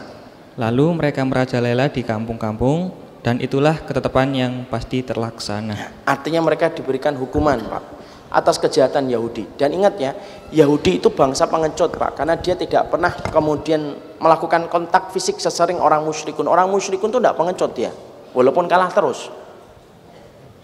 Tapi kalau Yahudi itu selalu bersembunyi di balik tembok-tembok mereka. Dan kontak fisiknya itu jarang sekali. Kenapa? Mereka selalu bersembunyi di tembok-tembok mereka. Itu Yahudi, Pak. Mental mereka dari dulu memang semacam itu. Dihukum atas kejahatan yang pertama. Sudah. Teruskan. Lanjutkan lagi. Ayat yang ke-6. Kemudian kami berikan kepadamu giliran untuk mengalahkan mereka. Kami membantumu dengan harta kekayaan dan anak-anak dan kami jadikan kamu kelompok yang lebih besar. Ini Pak, ada sebuah kata yang Allah sebutkan pada ayat yang ke-6. Wa amdatna bi amwali wa banin. Kami jadikan kamu kemenang kembali. Lalu kemudian wa amdatna kum bi amwali wa banin. Kami perbanyak amwal, hartamu, wa banin anakmu, Pak. Jadi akhirnya kemudian kita mendapati setelah Yahudi kalah pada zaman Nabi terhina mereka. Dan kemudian mereka tidak bisa apa-apa ketika pada zaman Rasul atas pengkhianatan mereka puncaknya mereka dipenggal kepalanya. Kemudian Allah menangkan kembali. Dan ternyata ketika Allah memenangkan kembali Allah menyisakan Yahudi. Sampai hari ini ditambah lagi Allah memperkuat ditambah harta ditambah dengan anak Pak. Makanya hari ini orang Yahudi kenapa kok menggenggam semua kunci-kunci ekonomi dunia ini Allah yang kemudian memberikan untuk menjadi ujian bagi orang yang beriman. Tambahan. Makanya kita lihat kan hari ini rata-rata semua ekonomi itu dikuasai sama Yahudi, Pak. Siapa yang punya Facebook? Oh, Yahudi. Siapa yang punya Instagram? Yahudi, Pak. Dan itu dikuasai semua perbendaraan itu. Bahkan saya pernah mendengarkan itu uh, desas-desus berita itu. Pada zaman moneter itu 98, 99 kita ini digoyang dengan naiknya dolar inflasi dolar itu Pak. Ternyata saya pernah dengar waktu saat itu saya SMP itu dengar katanya digoyang sama satu orang Yahudi namanya George Soros. Digoyang itu. Satu orang bisa goyang satu negara. Ketika dia ras ngambil uang besar-besaran itu. Kenapa kok Yahudi kaya raya Ustadz? Bahkan kemudian rata-rata pelaku bisnis-bisnis miliaran itu rata-rata Yahudi jawabannya Allah yang memperbanyak hartanya mereka sudah gitu, wabanin Allah nambahkan kemudian kepada Yahudi itu apa? Anak keturunan yang banyak, Pak. Makanya Yahudi itu tidak mengenal Yahudinisasi agama. Tapi orang Yahudi itu Yahudinisasi program, Pak. Beda dengan Kristenisasi. Kristenisasi orang ngajak masuk ke Kristen, Pak. Kalau Yahudi enggak, Yahudi itu sudah berbekal dengan keturunan itu sudah banyak. Makanya dia tidak pernah ngajak orang masuk Yahudi. Pernah enggak Bapak diajak? Ya masuk Yahudi yuk. Tidak ada. Kalau masuk Nasara, ayo masuk Kristen, banyak pak. Indominya 6, telurnya setengah kilo, banyak. Tapi kalau masuk ke Yahudi tidak ada. Kenapa? Mereka sudah diberikan oleh Allah itu anak pak. Makanya orang Yahudi itu nggak kenal kabi. Mereka anaknya banyak pak, keturunannya banyak. Makanya kenapa ketika mereka nyamplok itu Palestina, kemudian berbondong-bondong Yahudi datang. Karena mereka mengandalkan keturunan. Kenapa diperbanyak sama Allah? Sudah kaum Yahudi itu pak, membunuh para nabi, melakukan penyelewengan, merubah kitab Taurat, dosanya banyak itu Pak. Yang harusnya pertama kali layak untuk dihancurkan itu harusnya Yahudi. Tapi kenapa Allah itu hancurkan Samud, Allah hancurkan Lut, tetapi Allah sisakan Yahudi. Bahkan bukan hanya disisakan, ditambahkan harta, ditambahkan anak, Pak. Untuk apa? Untuk menjadi ujian kita beriman. Dan hari ini kita berada pada masa ketika Yahudi sedang dimenangkan oleh Allah dalam tanda kutip untuk menjadi ujian bagi orang yang beriman. Siapa yang sabar di atas agama ini dan siapa yang tidak sabar di atas agama ini? Kejahatan yang kedua akan dihukum nggak Ustaz? Lu kejahatan pun akan dihukum. Sebagaimana kejahatan mereka yang pertama melakukan konspirasi kepada Nabi dihukum puncaknya pada waktu dikepung Bani Quraidah, maka kejahatan yang kedua pun akan dihukum. Baca ayat yang kemudian ketujuh. Jika kamu berbuat baik, berarti kamu berbuat untuk dirimu sendiri. Dan jika kamu berbuat jahat, maka kerugian kejahatan itu untuk dirimu sendiri. Apabila datang saat hukuman kejahatan yang kedua, kami bangkitkan musuhmu untuk menyuramkan wajahmu, lalu mereka masuk ke dalam masjid, Masjidil Aqsa. Sebagaimana ketika mereka memasukinya pertama kali dan mereka membinasakan apa saja yang mereka kuasai. Ya. Maka kemudian kejahatan kedua mereka ini, Pak, ada batasannya, Pak. Tidak terus-terusan. Makanya Allah mengatakan faida jaa wa'dul akhirah. Perhatikan ayat ini. Allah itu menyampaikan dalam bentuk fa, Pak, istinafiyah, bukan pakai wawu. Orang Jombang kan terkenal nahwu sorobnya bagus. Di sini mengatakan faida, bukan waida, Pak. Kalau pakai waida itu temponya masih lama, Pak. Tapi Allah menyampaikan faida jaa wa'dul akhirah. Artinya apa? temponya atas hukuman dari kejahatan orang Yahudi yang kedua itu sebentar lagi maka kemudian mereka akan dihukum oleh Allah makanya kita membaca sebuah hadis Nabi akan datang satu waktu orang-orang itu kemudian nanti akan menceritakan ke mana Yahudi itu nanti bersembunyi kan sampai kita dapatkan hadis Rasulullah kan sampai ada pohon yang akan berkata ini Yahudi di belakang saya sampai kemudian ada batu akan berkata ini Yahudi di belakang saya kecuali satu pohon yang tidak mau menceritakan tentang keberadaan Yahudi. Pohon apa? Pohon gorkot. Dan itu ternyata menjadi pohon yang hari ini banyak ditanam di negara Israel, Pak. Pohon gorkot itu. Jadi di situ akhirnya kita paham. Kalau sudah bicara menang, berarti kemudian kita harus paham. Salah satunya itu pasti memiliki musuh. Dan musuh itu salah satunya yang disisakan oleh Allah itu siapa? Yahudi. Jadi kemudian jangan sampai kemudian kita kaget, kemudian akhirnya kemudian kita tidak paham tentang masalah ini. Ini kemudian masalah yang kemudian sudah disampaikan oleh Allah. Bahkan sampai Allah memperbanyak orang Yahudi itu dengan hartanya dan sampai Allah itu memperbanyak kemudian orang Yahudi itu dengan apa? Dengan keturunannya untuk menjelaskan kepada kita. Tidaklah Allah menyisakan Yahudi itu untuk menjelaskan kepada kita perjuangan itu ada kalau selama ada orang Yahudi. Makanya ini yang memahami ini harus kemudian ini harus paham. Berarti kalau kita pada posisi lakonnya salah satunya apa? Ya berhadapan dengan Yahudi itu. Maka setelah kita memahami ini maka yang kita harus pahami. Berarti kalau kita sudah mulai paham bahwasanya agama ini memiliki sebuah karakter yaitu kemudian adanya permusuhan berarti berislam itu akhirnya tidak cukup pak. Hanya kemudian menjalankan ritual kesolehan itu tidak cukup pak Berarti kalau kemudian kita sudah paham Allah menyisakan Yahudi untuk menjadi musuh bagi kita dan mereka akan berusaha untuk merusak anak-anak kita dan merusak keluarga kita, maka inilah yang menjadikan kita paham. Berarti konsep di dalam kita berislam itu bukan hanya menjadi solih, tetapi menjadi muslih. Apa bedanya solih sama muslih? Beda. Solih itu untuk pribadi. Muslih itu artinya memberikan kontribusi untuk agama Allah itu namanya muslih. Nabi ketika didik para sahabat itu tidak pernah didik hanya solih pak. Tapi Nabi ketika didik para sahabat itu menjadi musleh. Kenapa? Karena pertempuran kita dengan Yahudi nanti yang akan terjadi pada waktu yang ditentukan oleh Allah.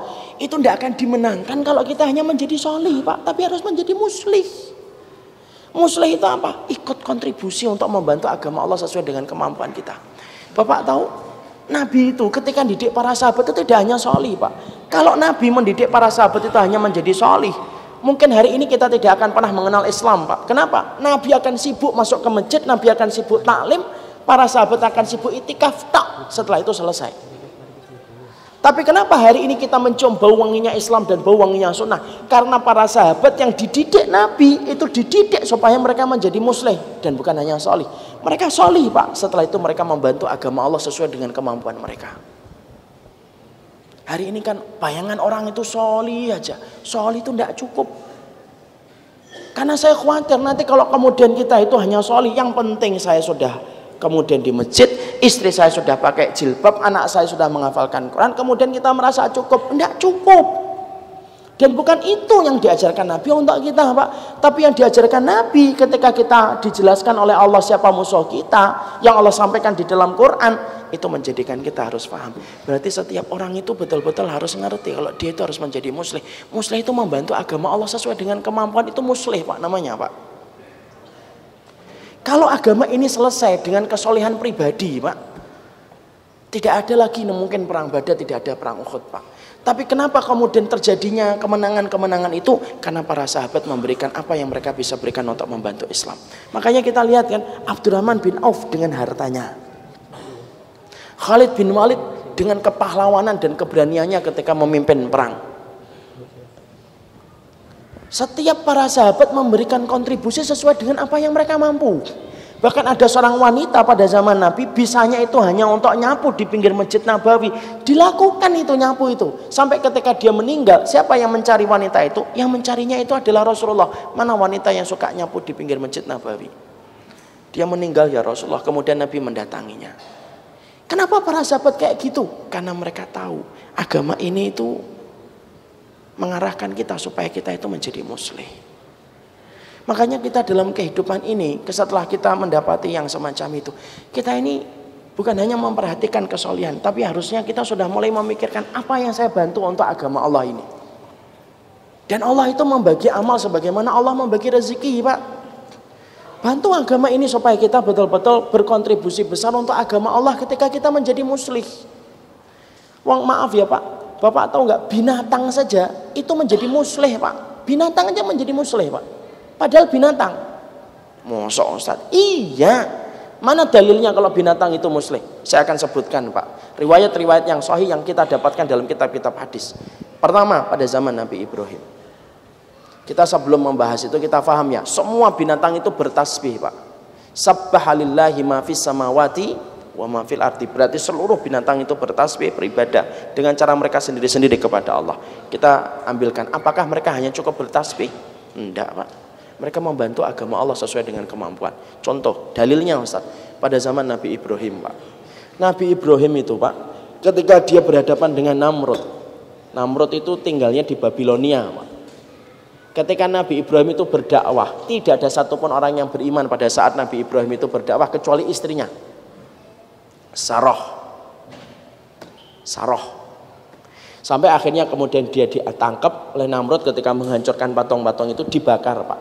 Bapak tahu sistem pembakaran Namrud nanti dibaca kitabnya Imam Ibnu Katsir Al-Bidayah wa Nihayah. Itu kayu ditumpuk-tumpuk sumbangan dari seluruh warga Babilonia ketika mereka pingin untuk membakar Ibrahim. Bahkan ada sebuah riwayat diterangkan ada wanita tua di pinggir hutan itu sedih padahal dia buta. Sedih ketika mendengar Ibrahim itu akan dibakar. Ditanya, "Kenapa, Nek, kamu sedih?" "Kamu sedih ya? Ibrahim itu mau dibakar." "Bukan." Aku sedih karena tidak bisa nyumbangkan ayu untuk membakar Ibrahim lebih besar lagi. Itu nenek-nenek di pinggir hutan, Pak. Makanya api yang membakar Nabi Ibrahim, api yang membakar Nabi Ibrahim itu, apinya diterangkan oleh para ulama, apinya itu begitu sangat besar sekali. Sampai diterangkan kalau ada burung yang lewatin asapnya, mateng burungnya. Itu api yang membakar Ibrahim. Tapi perhatikan, ketika api itu kemudian mulai membakar Nabi Ibrahim dari bawah Pak supaya dramatisirnya itu kena Jadi nggak langsung dari atas, dari bawah dulu dihidupkannya. Baca hadis-hadisnya itu. Dibakarnya dari bawah pak, ngasep ke atas itu. Supaya kemudian didramatisir supaya Ibrahim itu tambah deg-degan kemudian akhirnya menyesal. Itu yang diharapkan mereka. Karena yang diharapkan mereka itu apa? Ibrahim nyesal.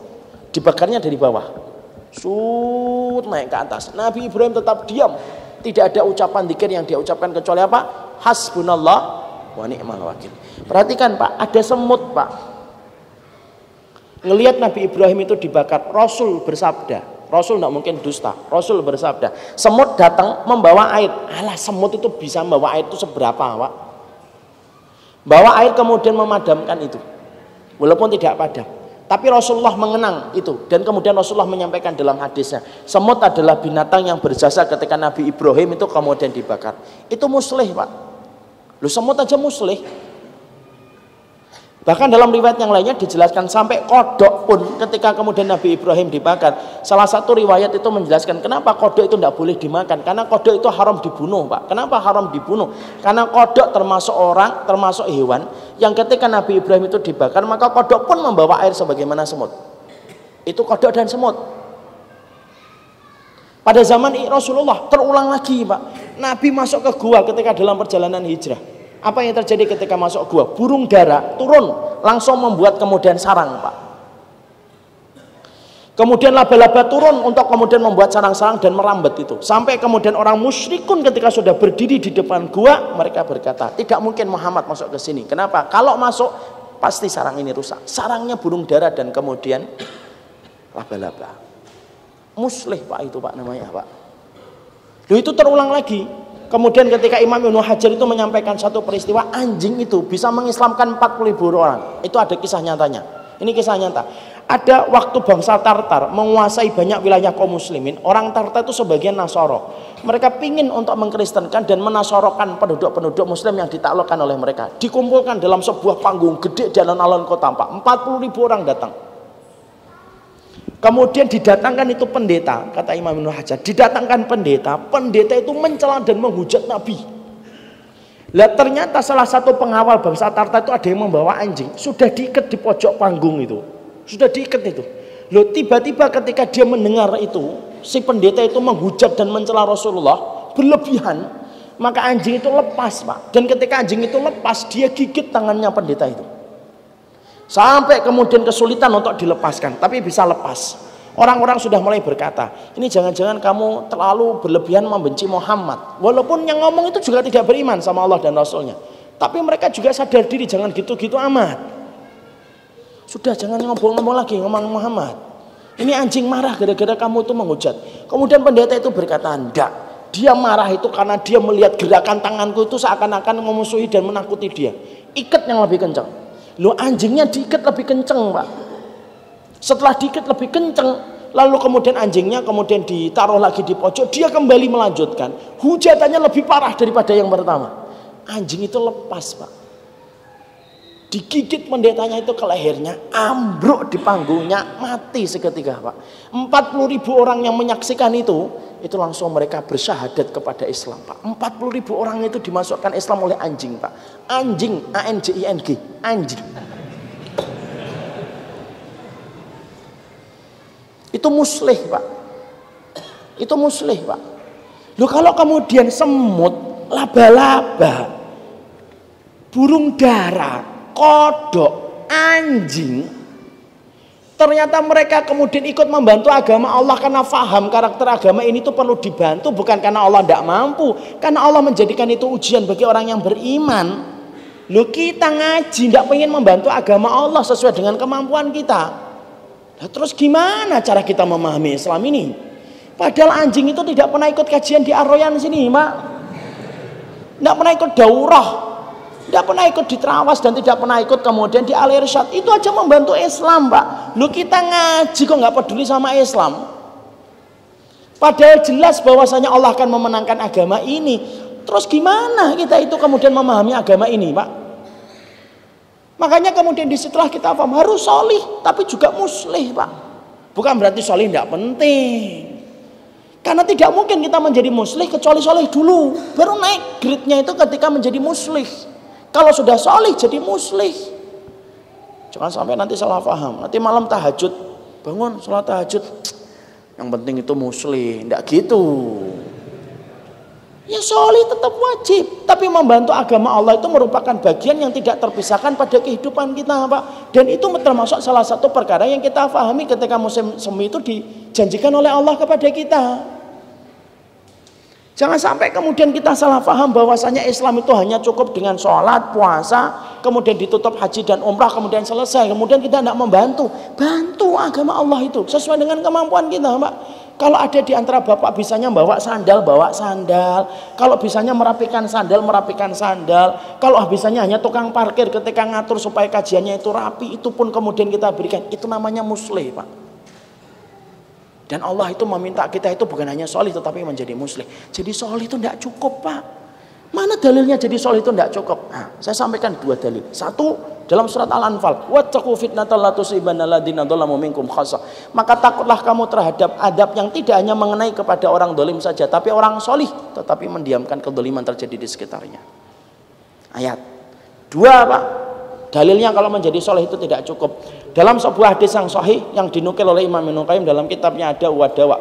Allah itu nyuruh Allah itu nyuruh satu malaikat adab untuk mengadab satu kaum, mengadab satu kaum.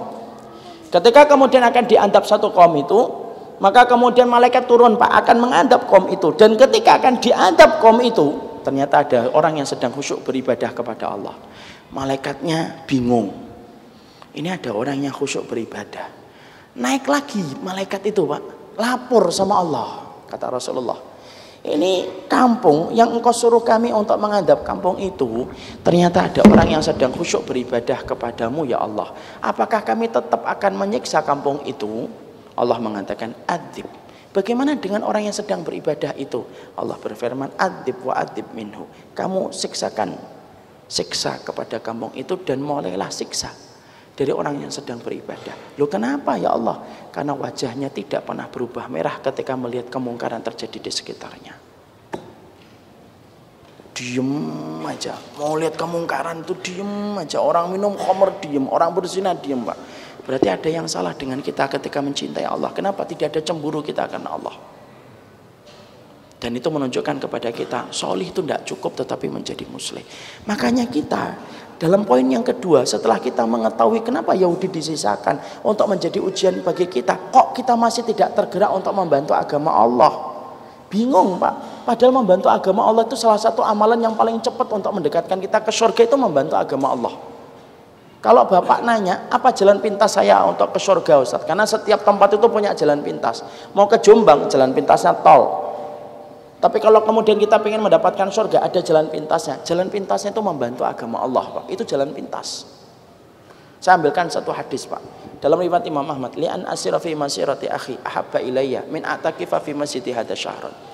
Rasulullah itu mengatakan, aku membantu saudaraku satu hari itu amalnya lebih aku cintai daripada aku itikaf di masjidku ini selama satu bulan kata Rasulullah lebih aku cintai daripada itikaf di masjid Nabawi satu bulan.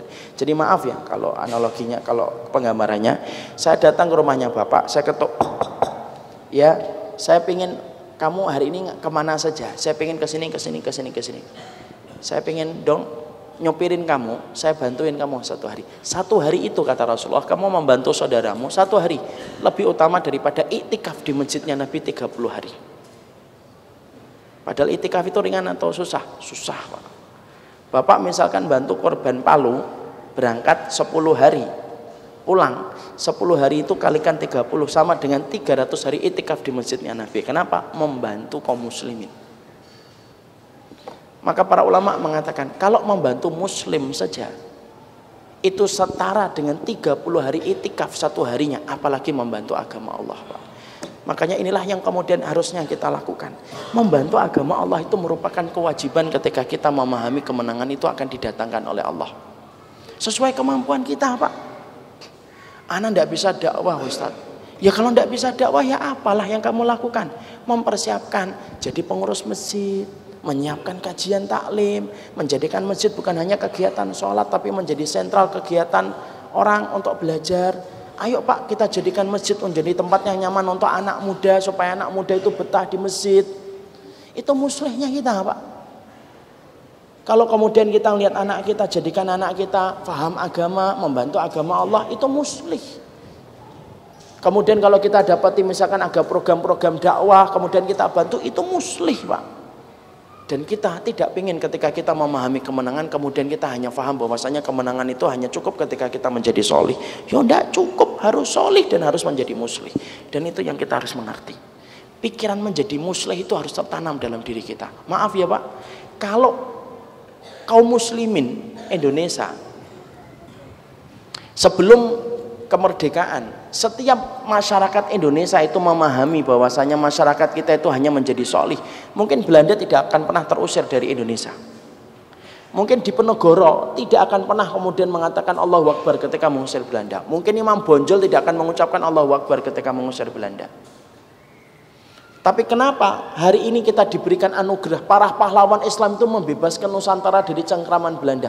Karena satu, Pak seluruh para pahlawan itu memahami bahwasanya menjadi solih itu tidak cukup tetapi harus menjadi muslih. Itulah yang menjadikan Bung Tomo itu bisa berkata Allah Akbar untuk mengusir Belanda. Itu muslih Pak. Makanya inilah yang menjadikan akhirnya kita memahami kalau kita hanya jadi solih tok eh, menang itu susah Pak. Tapi ketika kita semuanya memahami bahwasanya kita harus menjadi muslih nah itulah yang benar. Dan itulah kewajiban kita. Sekarang pertanyaannya kontribusi kita untuk Islam apa Kontribusi kita untuk Islam itu apa, Pak? Kita lihat ada orang tua kadang-kadang membantu dakwah itu karena pengen jadi muslim, Pak. Saya itu pernah ya, ini kisah nyata. Ada seorang ikhwan, saya tinggal di Bekasi, di, dia tinggal di Bintaro, Pak. Jarak antara Bekasi dan Bintaro itu 50 kiloan. Tiba-tiba malam-malam tuh telepon, besok kajian di mana Ustadz? Kajian di sini, di sini, di sini, Pak. Saya pengen ngantar Ustadz. Pak besok ada lima kajian Pak. Tidak usah diantar. Saya sudah ada ikhwan yang nganterin saya. Tolong Ustadz saya pengen ngantar Ustadz kalau mau nganter saya kajian subuh. Bapak bisa datang jam 4 siap Ustadz dia berangkat Pak dari Bintaro Pak. Jam 4 itu sudah di depan pintu rumah saya. Jam 4 subuh. Berarti berangkat dari Bintaro jam 3 berarti bangunnya setengah 3 di depan pintu rumah saya. Nganter ke mana-mana pak. Satu hari sampai jam setengah sebelas malam.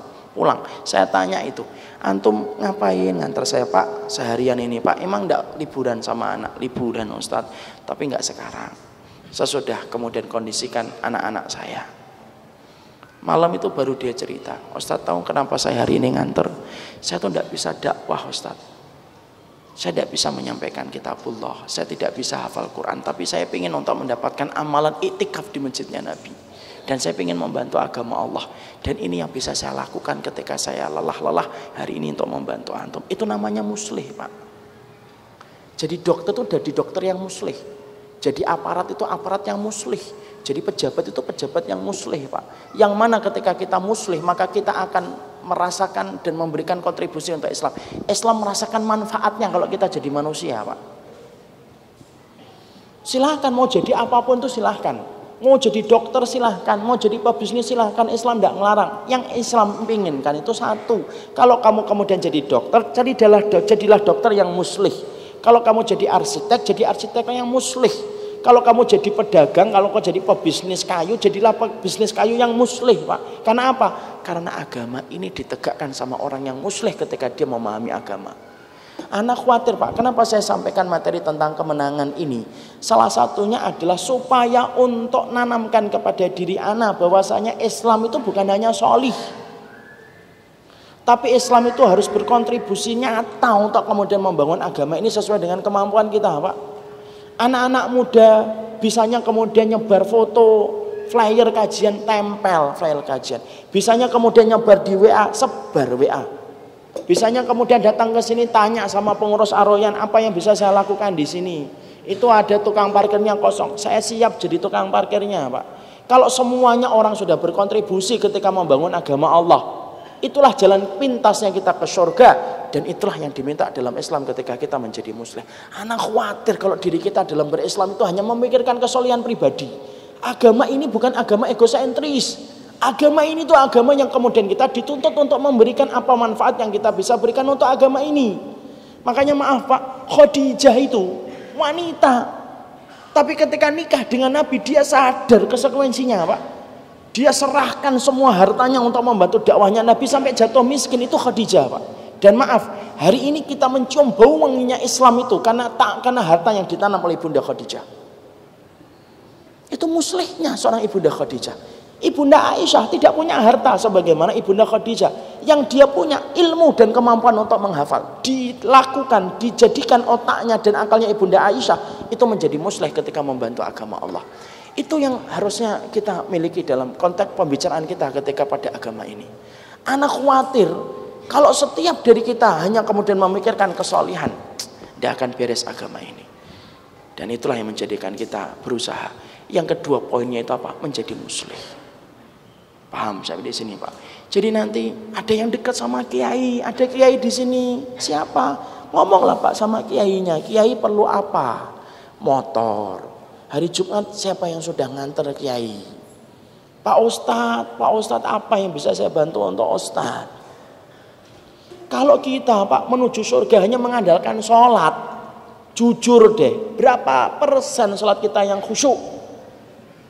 Kalau kemudian kita mengandalkan ke surga itu melalui sholat kita tok, jujur, berapa khusyuk kita sholat itu? Kalau kemudian kita ke surga mengandalkan puasa sunnah, alah jujur, berapa banyak kita puasa sunnah itu tidak ikhlas. Ketika kita dipuji sama orang atas puasa yang kita lakukan, menjaga puasa sunnah itu yang paling susah itu menjaga niat, pak. Kalau kita puasa sunnah itu bukan karena pingin makan, pingin ditanya, kok gak makan?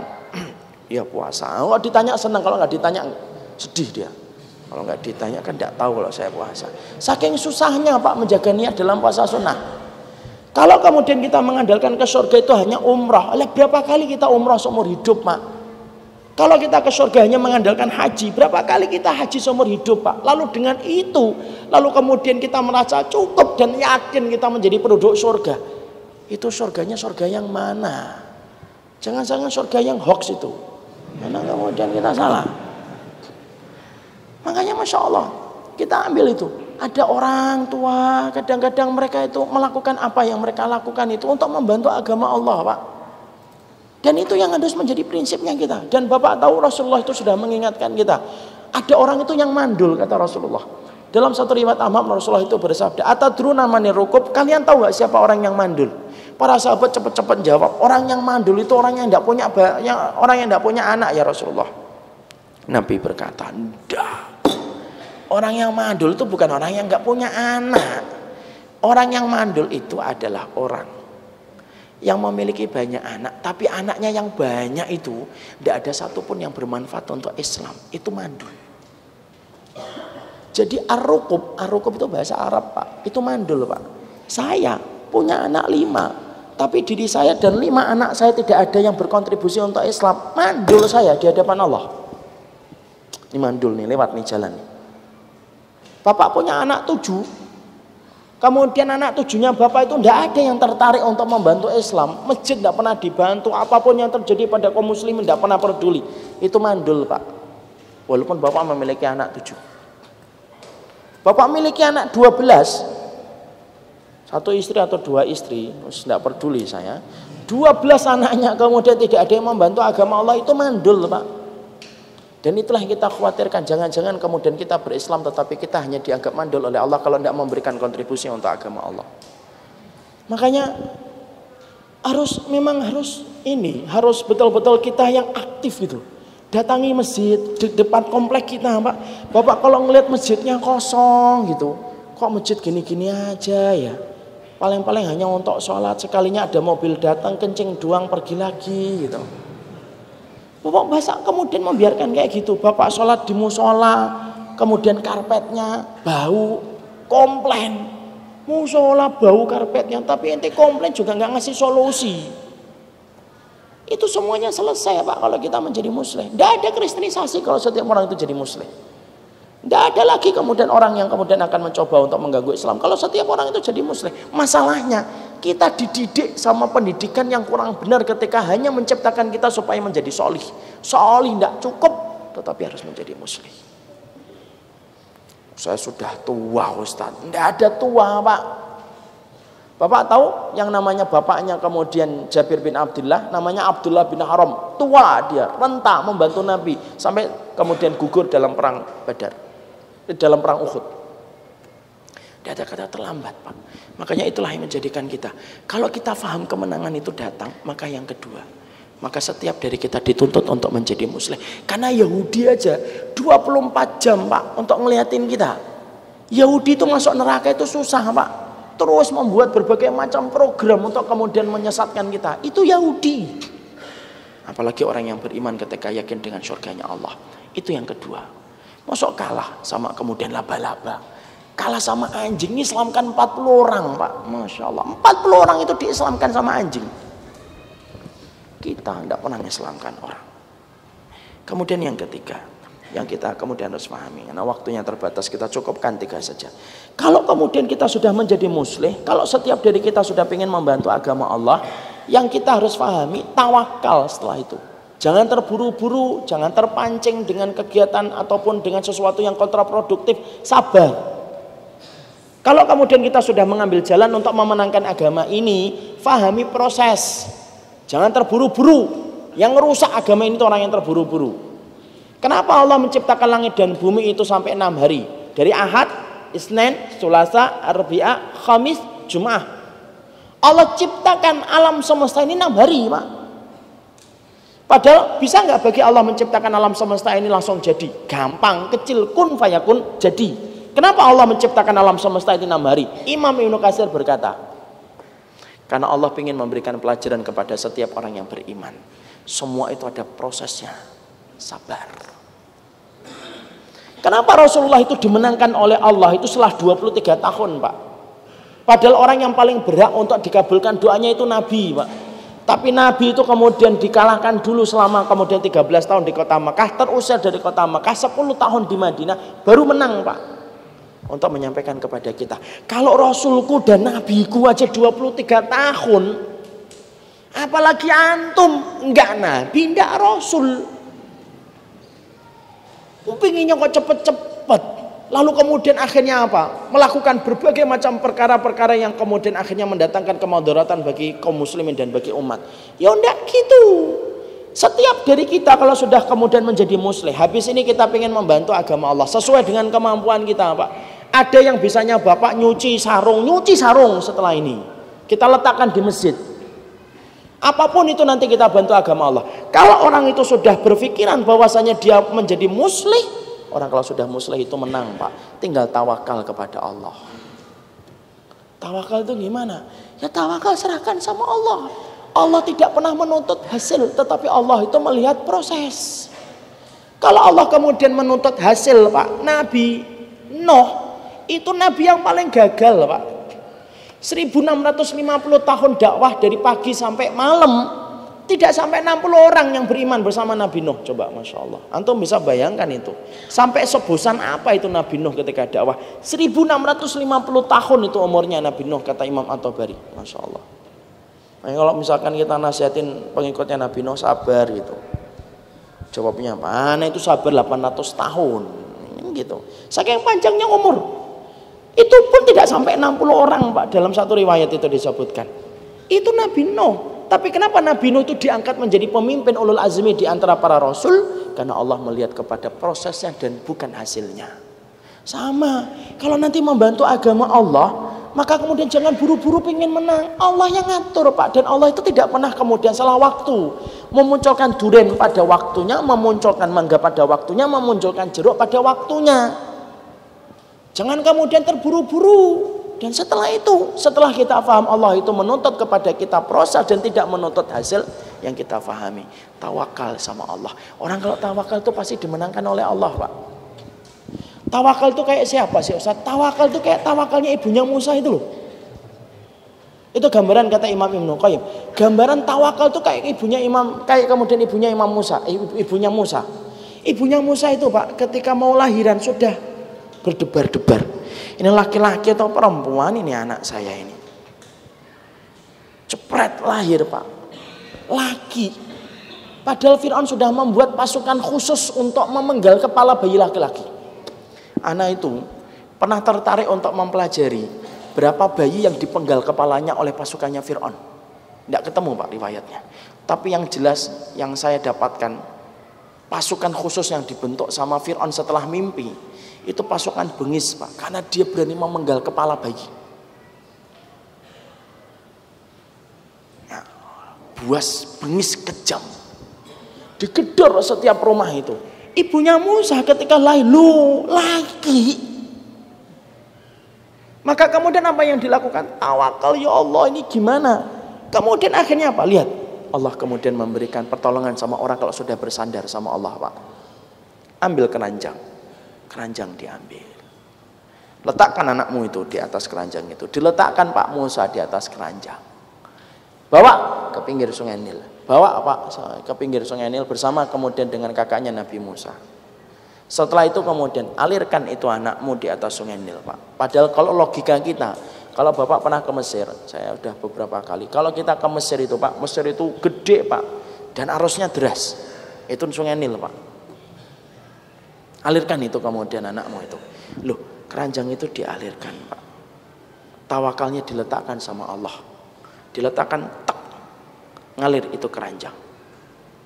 Matanya antara harap dan takut tapi dia yakin kepada apa yang dia dapatkan itu. Kemudian ngalir Pak lalu sampai hilang Pak. Perhatikan Allah kalau sudah menolong orang, kalau sudah tawakal kayak tawakalnya ibunya Musa Pak. Dijadikan kemudian keranjang itu belok Pak ke tempat pemandiannya Asia binti Muzahim. Asia binti Muzahim itu istrinya Fir'aun. Allah seakan-akan berfirman dan berkata, seneng kamu sama bayi itu. Loh Asia itu seneng.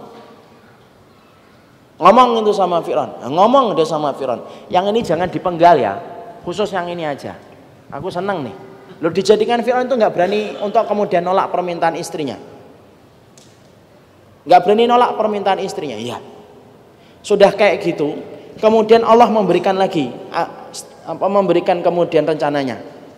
Nangis kamu Musa. Nangis Pak Musa, Pak. Ketika sudah dibawa ke istana, dijadikan Musa itu nangis, Pak.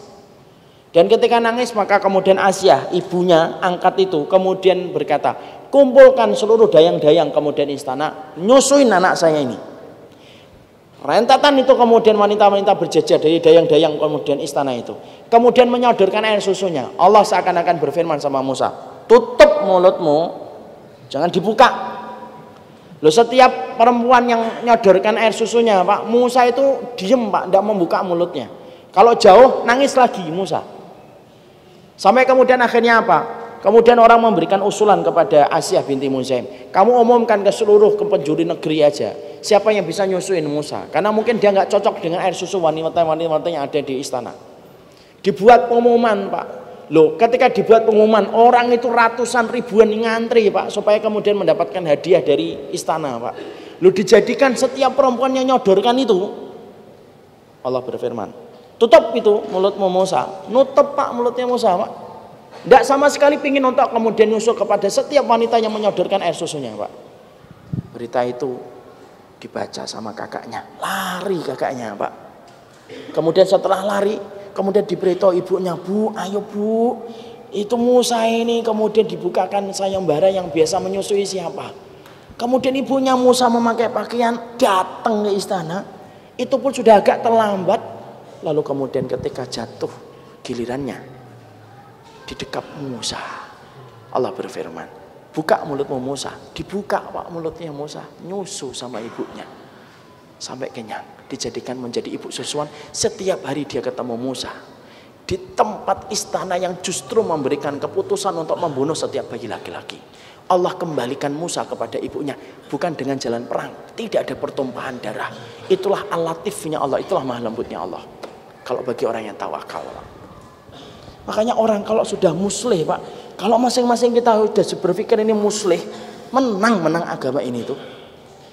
Tapi masalahnya kita sudah tawakal setelah kita berusaha atau enggak. Jangan-jangan kita belum berusaha, makanya kita nggak bisa tawakal pak. Dan maaf ya, biasanya tawakal itu diberikan pertolongan oleh Allah itu ketika sudah mentok lagi, kita tidak punya kekuatan kecuali Allah, baru Allah memberikan pertolongan. Contoh, Nabi Musa Kapan Allah memberikan pertolongan kepada Nabi Musa? Bukan di awal-awal dakwah, Pak. Tapi Nabi Musa diberikan pertolongan oleh Allah ketika Nabi Musa ketika malam diberikan wahyu. Keluar kamu dari Mesir. Keluar itu Musa dari Mesir. Mentok Laut Merah. Lu belakangnya pasukannya Fir'aun. Sudah tidak ada harapan kecuali Allah Pak. Di depannya lautan, di belakangnya pasukannya Fir'aun. Apa yang Allah berikan? Pukulkan tongkatmu. Pukulkan tongkatmu lautan kemudian menjadi daratan. Dilewati Musa Pak. Setelah ngelewatin sampai ke tepi daratan kemudian Musa diperintahkan lagi pukulkan tongkatmu kembali. Lautan lagi itu daratan menjadi lautan. Ditenggelamkan Fir'aun Pak. Kapan? Ketika Nabi Musa itu sudah mentok di depan laut merah justru itulah kemenangan Musa alaihissalam kapan Nabi Ibrahim dikasih pertolongan sama Allah? Ketika sudah diikat Pak di atas Nabi Ibrahim itu tidak tahu kalau api itu jadi dingin Jangan kita kira nanti oh Ibrahim sudah tahu jadi dingin.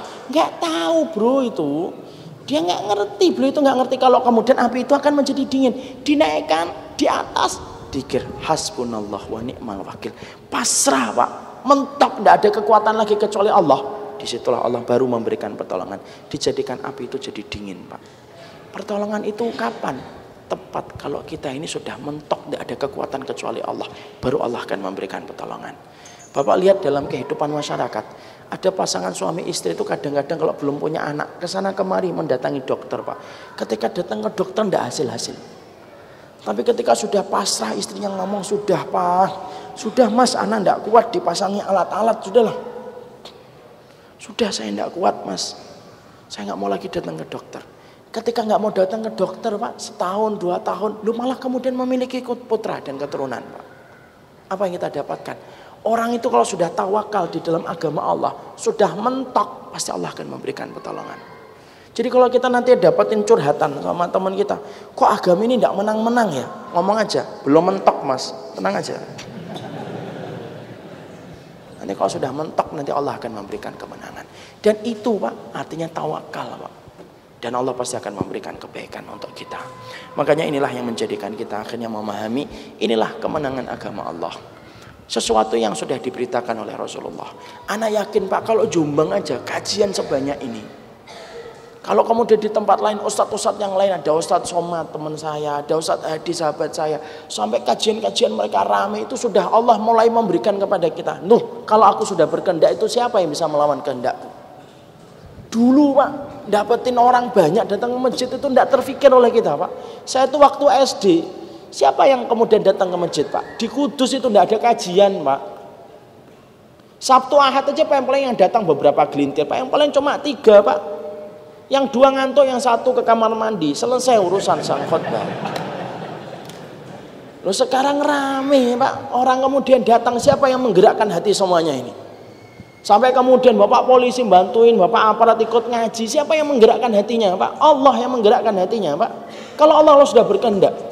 Coba kita nyari kajian kayak gini. Misalkan masjid ini dibangun 15 tahun yang lalu, ngadain kajian, sepi anak yakin. Tapi semua sekarang diberikan oleh Allah. Bunga-bunganya sudah mulai mekar, Pak. Tinggal musim seminya tinggal sebentar lagi. Pastikan nanti kalau musim semi itu datang, saya Bapak bukan hanya solih, tapi menjadi muslim sesuai dengan kemampuan kita, Pak. Dan saya mengingatkan terakhir kalinya perkataan Imam Malik, "Innallaha qasamal a'mal kama qasamal arzak." Allah itu bagi amal sebagaimana Allah membagi rezeki. Tidak bisa semuanya, semuanya harus di depan ngomong. Tidak bisa Pak, kalau semuanya rebutan nemik terus siapa yang dengerin? Ada yang ngomong, ada yang baca, ada yang videoin. Ada yang nge-share, ada yang motong, ada yang kemudian nanti menyampaikan hasilnya ini kepada istrinya. Ayo istriku kita jadi muslih yuk. Jadi suami yang muslih, jadi istri yang muslih. Muslihah. Nama saya Nisa Bi bukan muslihah. Muslih itu artinya kontribusi untuk agama Allah. Kalau kemudian kita nanti membantu sesuai dengan kemampuan, Allah membagi amal sebagaimana Allah membagi rezeki.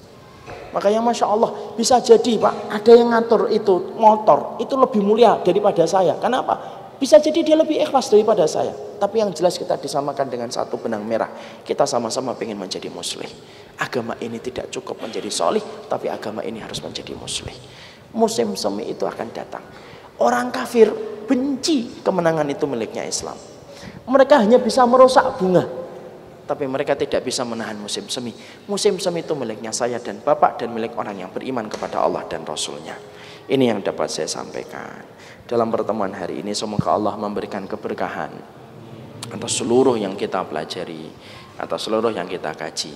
Moga-moga kita selalu akan menjadi muslih pada kehidupan iman dan keislaman kita. Barakallahu fikum Ini yang dapat saya sampaikan Sudah setengah sembilan Kita mungkin akan melanjutkan sesuai dengan petunjuk yang diarahkan oleh pembawa acara kepada Ustadz yang mengarahkan acara saya persilahkan.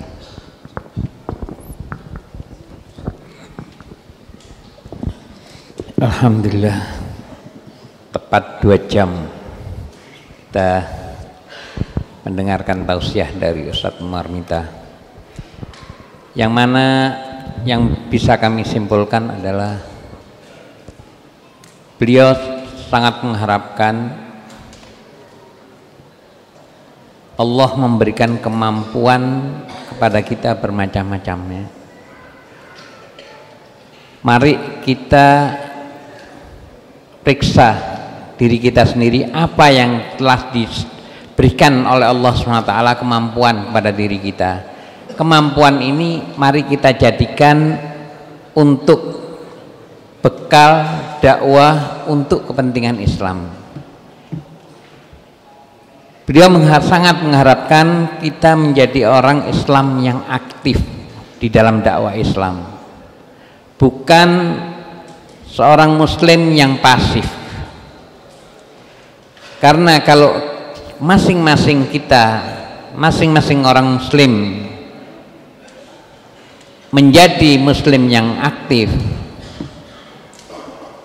musim semi yang dikatakan akan tiba artinya kemenangan umat Islam akan muncul.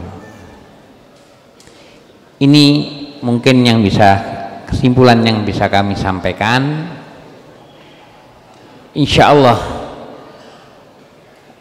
tausiah Ustaz Umar minta ini bisa menjadi motivasi kita untuk menjadi seorang muslim yang aktif.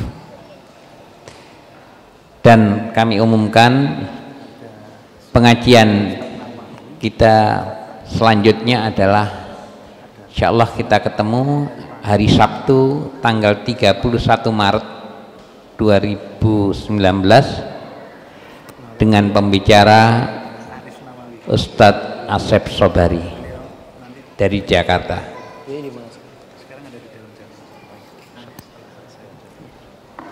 Apa karena waktu sudah malam kami tidak membuka tanya jawab. Untuk selanjutnya kami mohon Ustaz Umar minta bisa membacakan doa Ustaz.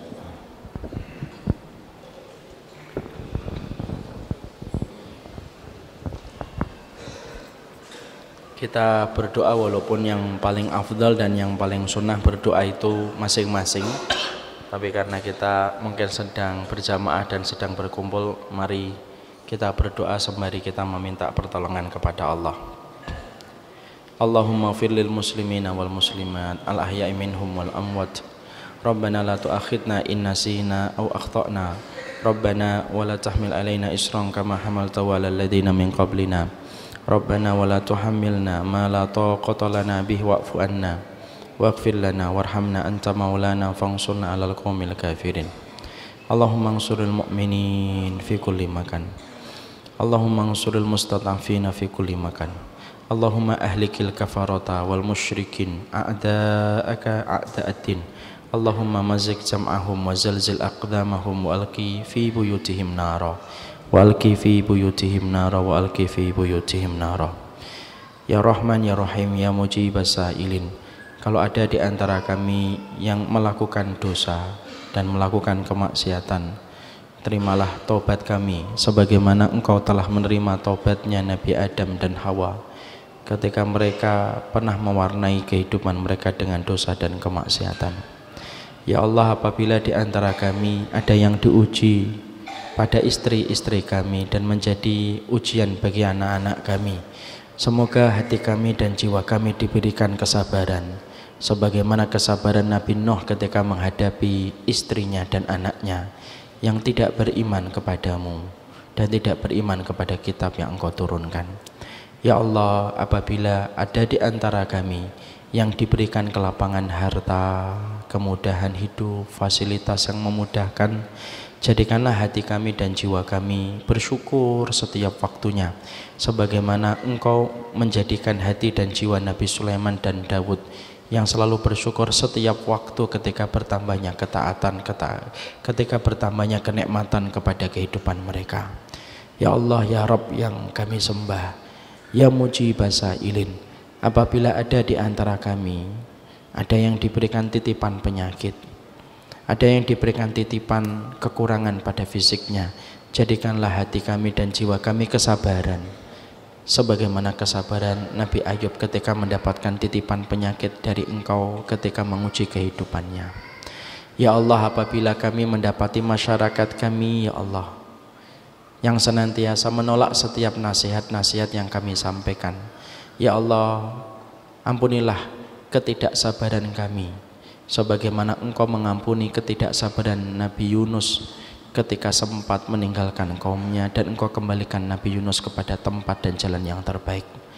Ya Allah, apabila di antara kami ada yang mendapatkan ujian melalui suami-suami mereka, jadikanlah kami dan jiwa kami itu memiliki kelapangan sebagaimana kelapangan Asia binti Muzahim ketika menghadapi suaminya Fir'aun yang tidak pernah beriman kepada engkau Ya Allah apabila ada di antara kami diberikan ujian melalui keluarga besar kami dan masyarakat kami atas ketidakfahaman mereka terhadap apa yang kami yakini dari kitabullah dan sunnah berikanlah keteguhan kami dan keteguhan kaki kami sebagaimana engkau memberikan keteguhan kepada Maryam bintu Imran ketika dilempari batu oleh masyarakatnya di tengah mengandung yang begitu berat sampai melahirkan Nabi Isa alaihi salam. Ya Allah, apabila di antara kami kemudian menjadi umatnya Nabi, pertemukanlah kami dengan Rasulullah. Jadikanlah kami menjadi umat yang selalu mengikuti Rasulullah. Bersabar sebagaimana sabarnya Nabi berani sebagaimana beraninya Rasulullah ketika membela kalimat Allah dan jadikanlah kami menempatkan dunia sebagaimana Rasulullah menempatkan dunia dan tidak pernah memasukkan dunia pada hati dan jiwa jiwa beliau semoga dunia yang kita dapatkan tidak pernah menjadi tujuan terbesar pada hidup kami. Tetapi engkau jadikan harta yang kami genggam hanya kami letakkan pada tangan kami. Ya Allah jadikanlah Hari ini kaum muslimin yang terdolimi di banyak tempat Engkau menangkan mereka Sebagaimana engkau pernah memenangkan agama ini Sebagaimana engkau pernah memenangkan Rasulullah Sallallahu Alaihi Wasallam dan para sahabat Sebagaimana engkau pernah meninggikan muhajirin dan ansar. Ya Allah Ampunilah dosa-dosa kami apabila kami melakukan kemaksiatan. Hancurkanlah orang kafir yang mereka membenci engkau dan membenci Rasulmu masukkanlah ke dalam rumah-rumah mereka api atas kejahatan yang mereka lakukan. Sebagaimana doa ini yang dipanjatkan oleh Rasulullah SAW berilah kelapangan kepada saudara-saudara kami ketika mendapatkan ujian. Dan setiap keluarga yang ditinggalkan mendapatkan pengganti yang lebih baik. Semoga bersama para nabi dan para rasul kami akan dikumpulkan pada kehidupan barzah dan akhirat kami. Allahumma inna nas'aluka. Allahumma inna nas'aluka al-ahadus somad alladzi lam yalid wa lam yulad wa lam yakul lahu kufuwan ahad Semoga engkau selalu mengampuni dosa-dosa kami. Wa sallallahu ala nabiyyina Muhammad walhamdulillahi rabbil alamin.